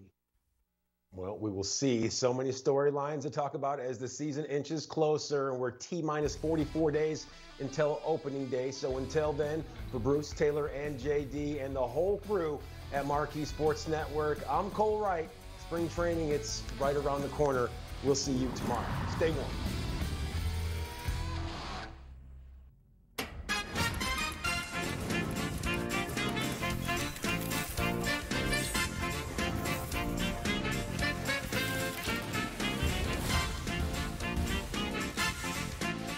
Welcome to Play at Home Trivia presented by Miller Lite. I'm your host, Chris Myers, and we're all at home hanging in there from our home to yours. We're going to have a little fun with some Cubs and Chicago centric sports trivia.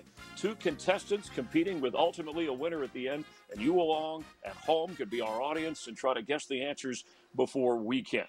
And let's welcome in our two contestants. First, say hi to Dan Plesac, analyst for the MLB Network, Marquee Sports Network. Grew up in Indiana, 18 major league seasons, three all star teams. Uh, he's uh, the ace. And let's say hi to Dan. How are you, Dan? Chris, good. I, I heard you talking briefly about a nine inning game. Just to warn you, the boat's left the dock. I'm probably good for an inning and two thirds. If you're going to try to get nine innings out of me, you've called the wrong guy. All right. Well, whatever whatever you can give us. We have people in the bullpen, but it, it, won't be physically taxing. It'll be mentally taxing, which could be an issue for all of us. Your uh, your opponent is Carlos Pena. You heard him chuckling. Also, Marquee Sports Network, MLB Network, played 14 major league seasons, Gold Glove, Silver Slugger, All Star selection. Carlos, uh, nice to have you with us, and welcome to Play at Home here, Marquee Sports Network. Uh, Dan, what are you talking about, man? I was hoping that maybe I could tire you out and maybe get get you in the late innings. You know, I mean, that was my strategy all along. uh, Carlos, there isn't much heat on that fastball anymore. So if I were you, I would go up there swinging early. well, I will. In I will. case we, ha- yeah, he'll take his cuts. He's always shown that. In case we have any factual uh, concerns, uh, our fact checker, research guru Chris Antonacci is with us. We call him Notch. He'll be observing closely to help us out throughout the course of the game. All right, so the format is real simple, you guys. Uh, we play it's like a nine-inning game. Each contestant, same number of questions. First six innings, multiple choice. Seventh and eighth inning, you'll have a chance to steal some runs, and then you're also on the clock. You'll actually have a choice, and there's uh, great drama. It's never over until the ninth inning, and our walk-off question, you'll have a chance to make up ground. So if everybody's ready, uh, time for uh, play-at-home trivia presented by Miller Lite. And by the way, Dan, you know, uh, you did face in your career pitching Tony Pena, Willie Mo Pena, Geronimo Pena. You never faced Carlos Pena. So this is the first time this pitcher hitter matchup. We could have history here. It- we could have history, So good and, luck. and there there isn't much life left on that fastball. So, Carlos, you don't have to worry about getting that front foot down. Just be ready. Pull the trigger. That's all you did Here's our first all question. cussing. All right, worth one run if you get it correct, Dan. Your first. Which team did Kerry Wood strike out a record tying 20 times back in 1998? Multiple choice here. A is it the Milwaukee Brewers, B the Pittsburgh Pirates, C the Philadelphia Phillies, or D the Houston Astros? Chris, I'm, I'm proud to let you know that I repeated the sixth grade four times, and I don't need much of an education. The Houston Astros, because I watched that game. It was a day game. Houston Astros. Uh, very, uh, very good. You know that lineup uh, it had two Hall of Famers in it: Craig Biggio, Jeff Bagwell, and even Moises Alou, uh, six-time All-Star, former Cub. So that is correct. So you're on the board. An early one nothing lead. So Carlos, here's your chance to answer here. Which Astros player? Wh- Which Astros player did Kerry Wood strike out for lucky number 20? Was it A, Craig Biggio, B, Derek Bell, C, Jeff Bagwell, D, Jim Deshaies? Chris, this right here was absolutely hilarious because he missed this pitch like by maybe two feet. And when you watch it, I, I, I'm like, is this a wiffle, ga- wiffle ball game? Because that's exactly what it looked like. It was Derek Bell. I mean, it was hilarious good. how far. Goodness. Yeah, no, that was that was great. And he was he was a 300 hitter uh, that season. So this is you guys are you guys are doing great so far. It's a 1-1 game. We go back to Dan. Record setters is the category here in the second inning. Which former Cub holds the major league record for most runs batted in in a season with 191? A. Hack Wilson, B. Aramis Ramirez, C. Andre Dawson, or D. Kris Bryant. The only reason I know this answer, Chris, my first year when I played for the Cubs in 1993, walking down the hallway from the locker room, getting down are a bunch of pictures of old players. And I remember this because I thought, man, 191 RBIs, Hack Wilson.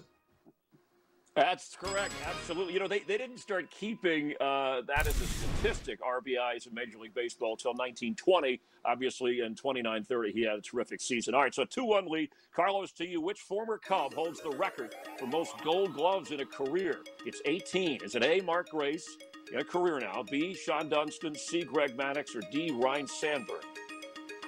You know, I, I would have easily gone for Mark Grace because he's one of my favorite players in, in, in, in the history of, of the Cubs. All right, first baseman.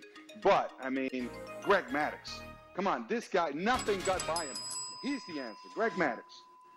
That is correct. Yes, yeah, and, and a, a great pitcher. Six of his six of his 18 Gold Gloves came as a cup. If they gave a Gold Glove for for talking, Mark Grace would have cleaned up with everybody on it. All right, so we have, we, and we have, and I'm sure he's watching. We, uh, it's a 2-2 game. Let's go to the third inning. We're going to shift a little. If you're in Chicago for anything you do know about the Bears, NFL season, off season here. Which active NFL tight end was drafted in the first round?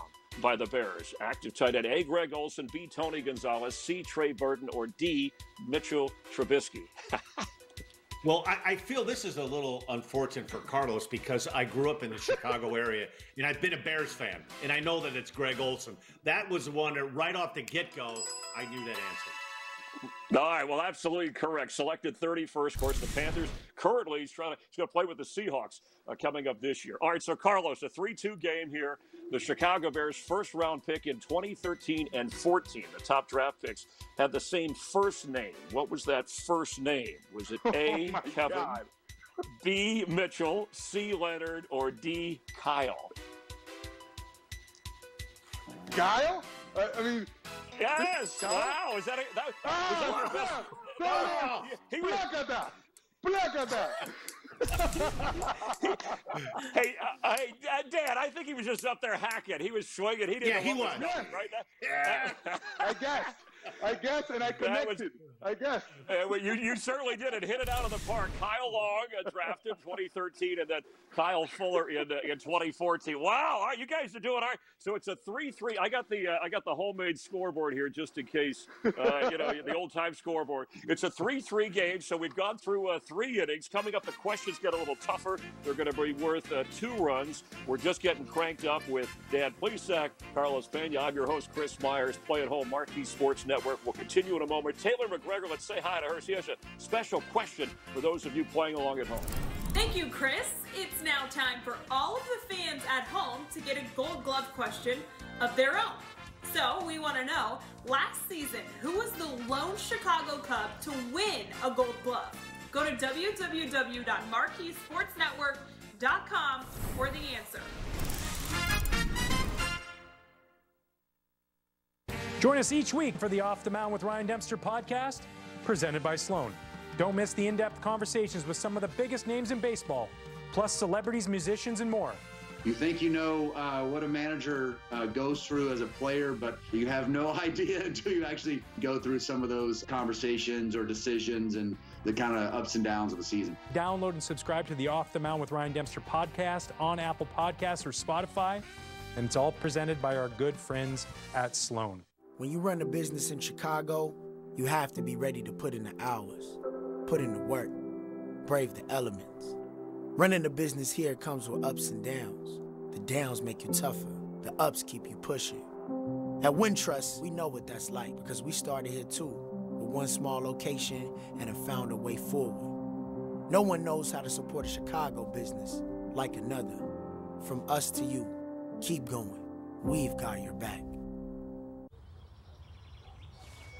Jessica, we need to leave right now. I need to get something. Dance recitals are so boring. There's a meaning no one knows. Wait until we set So, free. what's the empty suitcase for? The grand prize trophy. Duh. Confidence. Pass it on. I was born to be somebody. I could hear the thunder. I knew I knew that we were getting a storm, but just suddenly the hail started coming down. Literally sounds like rocks are hitting the side of your house. When I talked to Hippo, my first call, I felt immediately like they cared about my home like they cared about their own home. They were really concerned about every detail, down to did my grill have a dent in it? I had a lot of questions about how the process would go. They um, spoke my language. They didn't talk a bunch of insurance speak. Once I talked to Hippo, I felt a lot better. They made me feel that they were on top of it.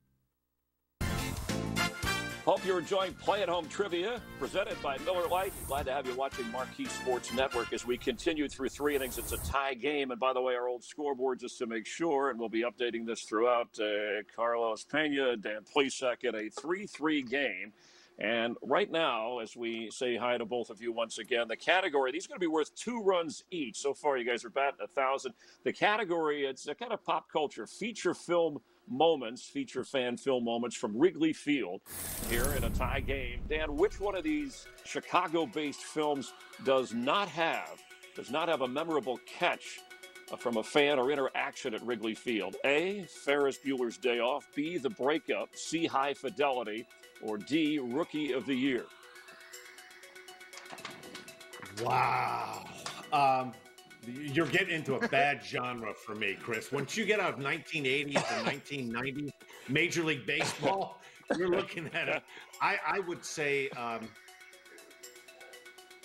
oh my I'll- gosh. I, I can repeat it. So it's Ferris Bueller's Here you go. Fer, Ferris Bueller's Day Off, The Breakup, High Fidelity, Rookie of the Year. It did not have a fan catch or interaction at Wrigley Field. That's kind of the key. I know this is Yeah. probably. I, I'm just going with the lead-in Rookie of the Year, but I, I don't. I'm going to go Rookie of the Year. Yeah.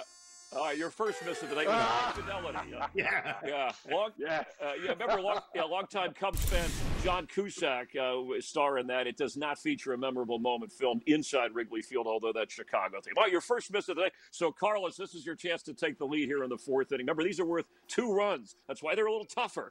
Uh, so, Carlos, in which movie does Cub fan and actor Jim Belushi make an amazing catch on a Mark Grace home run in a World Series? Is it A, Blues Brothers, B, Taking Care of Business, C, A League of Their Own, or D, Curly Sue? Dad, oh, you guys are struggling. I'm struggling. No, no, I'm struggling too. Yeah, this is not a good. I have to say the Blues Brothers. The Blues Brothers. Uh, Awesome. No, that's incorrect. It, it was uh, it was it was a great movie. But taking care of business. This was 1990. Belushi plays a convict who escapes from prison to see the Cubs in a world in a World Series. If you and that was make believe. Of course, in 2016 we had we had the real uh, World Series for the Cubs, and, then Belushi didn't go to prison. We need to watch so it, it's Chris. a- We need to watch it. Yeah, you'll enjoy that one. All right, fifth inning here, still worth two runs. Bill Murray, feature films. We know the great Cub fan. All right, here we go. Which of these, uh, Dan, for you, which of these sports based films does not star Bill Murray? A. Caddyshack, B. Space Jam, C. Slapshot, or D. Kingpin? Does not. Does Does, not. right. I, I know he's into golf. Caddyshack, I know that's a no. I'm going to go Kingpin. That. And uh, that is oh incorrect. It was t- it was Slapshot. He, remember in Kingpin, he's got the bad hair as a bowler, right? But that's the Slapshot, yeah. Right, with Paul Newman was in that in 1977. All right, so we're, we're we're still we're still tied. Well, you, uh, you guys, You're getting you guys tired. are all baseball. Oh, yeah. Here we go. I'm telling you, I, I have five outs in me. Five outs. You're stretching me too far right now. but but you're still in the game because Carlos hasn't been able to hit, take advantage. So, so here we go, Carlos. In what iconic movie? Remember, worth these are worth two. Does legendary Cubs fan Bill Murray play the character Carl Spackler? Is it A. Groundhog Day, B. Ghostbusters, C. Lost in Translation, or D. Caddyshack? You know what's funny?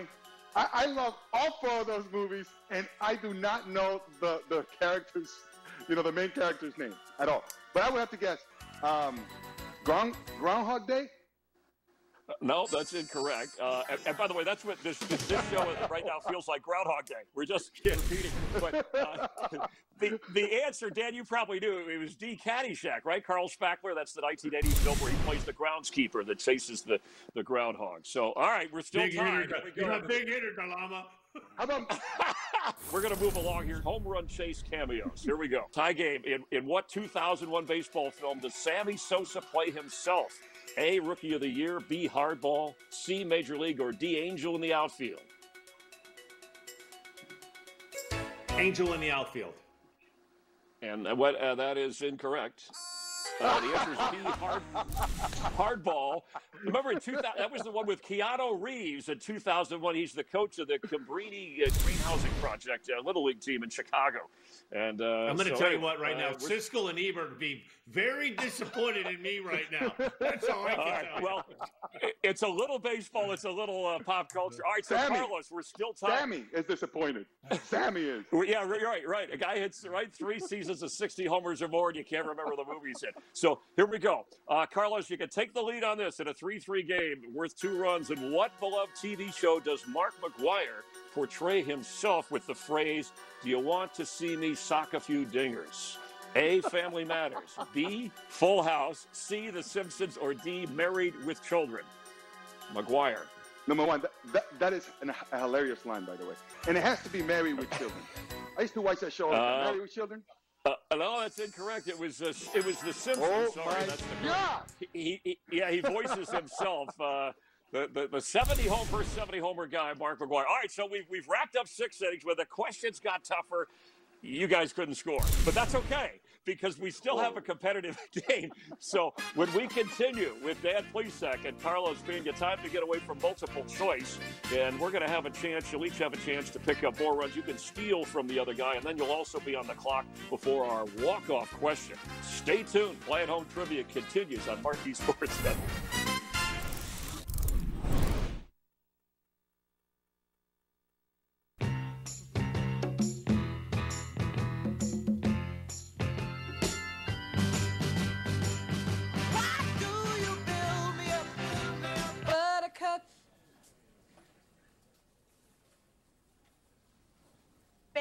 Just to let me down. Let me down. And mess me around. And worst of all, If you ride, you get it. Geico Motorcycle. 15 minutes could save you 15% or more. Are you 65 years or older? So are we. Over 80 years, right here in Illinois. That's why a Medicare plan from Blue Cross and Blue Shield of Illinois is the one to trust. Go with experience. Go with confidence. Through it all. Walk with us. Talk with us. Fight with us. Celebrate Black History Month with the Dovetail Project. Better fathers, brighter futures. Play at home trivia presented by Miller Lite on Marquee Sports Network. We got a good one. It's 3 3 as we go to the seventh inning. The multiple choice answers are over. It gets a little bit tougher as we check the old time scoreboard with Dan and Carlos, and you can see they got out to a fast start. The middle inning's a little bit of trouble. So, uh, next, here's what we're going to do, you guys. Uh, the final three innings of the game. In the seventh here, it's just generic style sports trivia question, no multiple choice option. But if you miss the answer, your opponent has the opportunity to steal the two runs for themselves, and then they could get their own question. But what we make fun about this, uh, Dan and Carlos, is it's a question about yourself, your own major league career, because you guys both played and played for a long time and, and uh, really put your heart and soul into it. So it's a 3 3 game. Dan, this is worth two runs here to start the seventh inning, break the tie. What former Cubs player did you face the most in your major league career? Former Cub you faced the most. Kind of a trick question, but Chris, I think I know who this is. I'm going to say Fred McGriff. Faced him early Yes. on in Toronto. And I got a great story about the crime dog. He hit two home runs off me. One was in Wrigley when he was playing for the Atlanta Braves. Wind was blowing in. I'm not kidding you. 25 miles an hour from left field. He hit a screaming line drive over the basket into the stands. And it was my first glimpse of a ball being thrown back on the field, Chris. So I give it the bomb. I'm disappointed. My head's down. I hear the crowd roaring, and I see a ball come flying back in. Went over Shawon Dunston's head. It rolled to the mound. I picked it up. They kept the real ball, and they threw back a rubber coated ball. That's great. And you got it right. Uh, you, so you faced him 39 times, and uh, the next guy on the list was Wally Joyner. Um, so it, it was eight more times you faced McGriff. So that what's important, though, Dan, in this head-to-head competition here, you have a 5-3 lead. So now, Carlos, a question about your career to get the tie here worth a couple of runs. So what pitcher did you homer off the most in your career? What do you think, Carlos? Do you know All this right, one? Hey, okay. Look, he's Come on. sweating, Dan. You got him sweating after that uh, two-run. yeah, yeah, lead yeah, yeah. I got my water, my towel. Look, it has to be, it has to be either um, Pettitte or Lester. I'll go with Lester. That's correct. Wow, very good. And, and Pettitte, Boom. Hey, Pettitte was second on the list. This is the thing, though. Exactly, Dan. Like I, I don't know. I bear down against these like tough lefties. I mean, Lester, Pettitte, these guys are studs, right? Um, I, I should have maybe taken you know fringe pitchers or number three, number four, number five, uh, five starters a little bit more seriously. I really, I really should have maybe. You know, maybe if I played against Hall of Famers all the time, I would have been a Hall of Famer myself. Uh, you know what? Hey, hey, hey, Dan, tell tell Carlos he doesn't get extra credit for modesty. Okay, that just doesn't. No, you don't. No, no. Right now, we're, we're all tied up heading into the eighth inning. Now it's getting into my territory, Chris. I'm finally getting warmed up. He's got that rubber arm. All right, so the eighth inning, this is a list category, and Carlos, since we're tied and Dan went first to start the game, you'll get the choice. You'll be on the clock here in 30 seconds. You, here's the category, though. It's not multiple choice. You're going to have to name for each one you name right. You'll pick up a run. So the categories are Cubs individual home run season or Cubs save leaders. So which one of those categories do you want to take? And whatever one you take, then we'll have uh, Dan gets the other one. What do you think? Um, Saves leaders for Cubs or individual home run seasons for the Cubs? I'm, I'm gonna go with the Plagatas, man, the home run. Just the official question. Uh, there have been nine different Cub players, nine to hit at least 40 home runs in a season. Name as many as you can and go. Um, I'm gonna have to go with Andre Dawson, um, George Bell, uh, Ernie Banks, Ron Santo, um, Derrek Lee, um, Aramis Ramirez, Alfonso Soriano. Um, Ten seconds. Wilson. Hack Wilson. Hack Wilson. Um, Ron Five Santo. Billy Williams. Uh, Moses Alou. Time George is up. Time is up. Well, Hold that- on. All that right. was a mess. I think I did. I don't know. What you No, got? uh, you did okay. I we counted uh, six correct. Notch, is that what we have? I- six correct. Ask, Glenn ask, and ask Hill. me five. He didn't mention Sammy Sosa. Five? What? Yeah, you didn't mention How in the world did I Oh. forget Sammy Sosa? That was the number one guy. He Hey, is. I did mention him in my mind. You didn't hear it? Yeah, but, but that, yeah, yeah, we didn't. That's okay. That when you're under pressure, you know, Dan. That's how they hit her. When they, but it, this is not a That's mental it. telepathy game. So here we go. So so Dan, you're going to have a category. and You'll be on the clock here, and you for again for everyone that you get correct. It'll be worth a run, and I'll start it when uh, I finish the question and say go. There are ten different pitchers to record at least 40 saves in a Cubs uniform since 1969. So at least 40 saves, Cubs uniform since 69 when saves became an official stat. So ready, set, and go, Dan. I know one of them was Randy Myers in 93 because I played with him in 93. Randy Myers. Another guy, um, the shooter, Rod Beck. Um, Lee Smith.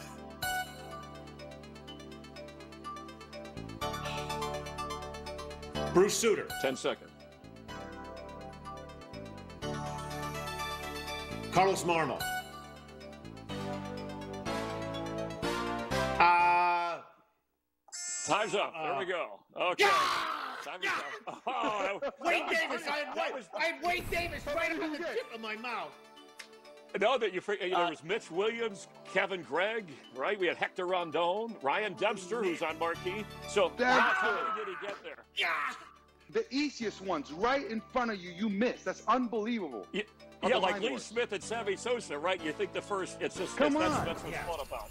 All right, so we're tied at 10. We've officially made sure of that. Uh, coming up, here's your walk-off topic here. This is the drama in a tie game. This is like a game at, Wrigley. Uh, here's the topic. Think about this. The only Cubs player, and I'll set up the rule on this because going going into this here, the category, you're, you're, you're going to have, I'm going to ask you a question, and you're going to have to wager uh, your amount of runs that you have put on the answer. But the topic, I'm going to at least give you that. Only one Cubs player was accomplishing this historic feat. So that's that's the the topic. How confident are you with this? Once again, only player to do something historic in a Cubs uniform. Get your wager in. We'll reveal the question, then your answer, and we'll ultimately get a winner in this competitive battle when Play at Home Trivia with Dan Plesac, Carlos Pena, presented by Miller Lite, continues on Marquee Sports Network. I have, over my 30 years, seen many patients who have excessive sweating. It is very much a confidence killer. I recommend Carpe for my patients. Carpe is by far the most effective antiperspirant I've ever used. I love Carpe. Now I don't sweat. Effective and affordable. It's a game changer. Excessive sweating is not something you have to live with. Avoid expensive treatments, injections, and prescriptions. Your total body sweat solution is available at mycarpe.com. Visit today and get up to 30% off. Do you have concerns about mild memory loss related to aging? Prevagen is the number one pharmacist recommended memory support brand. You can find it in the vitamin aisle in stores everywhere. Prevagen, healthier brain, better life. Little things can be a big deal, like our all new LiveWell app. One small icon on your smartphone with limitless health benefits, like appointment scheduling, managing health information, or finding a little calm in your busy day. Advocate Aurora Health, we're here for you. You're watching Marquee Sports Network. Welcome back to Play at Home Trivia presented by Miller Lite. We've reached the ninth inning in a tie game in our walk-off question between uh, Dan Plesac, Carlos Pena. It is a 10-10 game. It's that close, but this will decide it. And before the break, I, I asked you guys the topic of our walk-off question relating to the only Cubs player to accomplish a historic feat. Uh, You were both responsible for writing down how many runs you were willing to wager on the topic. So let's take a look first at your wagers, and then I'll ask you the question, Dan. Uh, and what did you wager on this? So it looks like, all right, three three runs in a tie game. And Carlos, you wagered. That's how confident they are. Nobody. Let's see. It's uh, it's uh, two runs. Why two? real quick. Well, let me tell you, when Dan goes out there in the golf course and he has a chance to go for the green instead of just laying up on the par fives, it doesn't matter if there's water, a lake, you know, a, a, a house on fire. He goes for the green, and I appreciate that about him. So I'm all in. All right. that he was going to go higher. Yeah, he's all in. All right. 10-10 game. Named the switch hitting Cub who became the only National League player to homer from both sides of the plate in the same inning. It was back in 2002. It's only been done three times historically, but only one Cub named the switch hitting Cub who became the only National League player to homer from both sides of the plate the same inning 2002. And gentlemen, if you if you have your answers, Carlos, we'll go since you went with two. If you get it correct, you take the uh, the Oh, 12-10 lead. What do you got? Uh, you hold up your sign for me, or tell me the answer. This is this is dark. This is this is crazy. I don't even know if he was part of the ball club at that time, but look at that. Uh, no, that's a good guess, but it's incorrect. All right. He had, he, how about that? He went out. All right, so Dan, all right, so hold on. Let's see. You're, you're down to eight runs Chris, now. Let's see what well, Dan's going to come up with. I feel really good about it. If was you he a catcher? if you miss, you lose. Was he a catcher? I went with Todd Hundley. Uh, uh, incorrect. It- it- Mark Bellhorn Yes! at Miller Park. Oh! So- and so- Yes! Wow. and I was all Yes, to it- sport my comment. I was ready. Uh, and he, I told you he was gonna go went for the green. it. Yes, he, he in a 10-10 tie, you gave up three runs. Carlos gives up two runs, so he hangs on for the one-run victory. Bellhorn went deep, right side of the plate off Andrew Lorraine, and then with two out, uh, he hit one from the left side off Jose Cabrera. That was back in 2002 August. Mark Bellhorn for the Cubs against the Brewers at Miller Park. Wow! All right, well, congratulations. I, I, was- I Dan, I thought you were able. Dan's arm got tired at the end. Carlos delivered, and he is. I know what Hey, you're Dan, thinking, Chris. There goes Danny. Blew another You were save. strong. well, I I do want to Oh, thank Carlos. arm, uh, and, and, and it was all about the it was all about the wager at the end, knowing knowing your game, uh, Carlos. During these unprecedented times, Knowing my opponent. Network, yes, and its partners uh, sure to impact local communities. For this episode, on behalf of you guys, Marquee Sports Network, Miller Lite, donating five hundred dollars to the Anthony Rizzo Family Foundation to help their donations of meals, masks, and sanitizers to local hospitals and cancer families across Illinois. Each episode, we have a different local charity that will receive a donation. All right, great fun, uh, Carlos. Your parting words, Dan, uh, Carlos. Hey, Dan. Chris, Dan, you left me in there for Dan. one too many hitters. Dan. Seven iron, seven iron. I laid up. You did exactly what I thought you were gonna do. You went for the green and bloop in the water, brother. Yeah. Chris, Chris, I'm sorry. You're too old school, man. You got to start using the metrics. You let me in for one too many hitters, and you paid the price. Guess what? You just Uh, got fired. Just my one my one game as manager. If I had Seaver, I might have had a shot. All right. Uh, thanks for playing along, and for you two, uh, Miller Lite Marquee Sports Network. Uh, for Carlos and Dan, I'm Chris Myers from our home to yours. We'll we'll see you next time on Play at Home Trivia right here.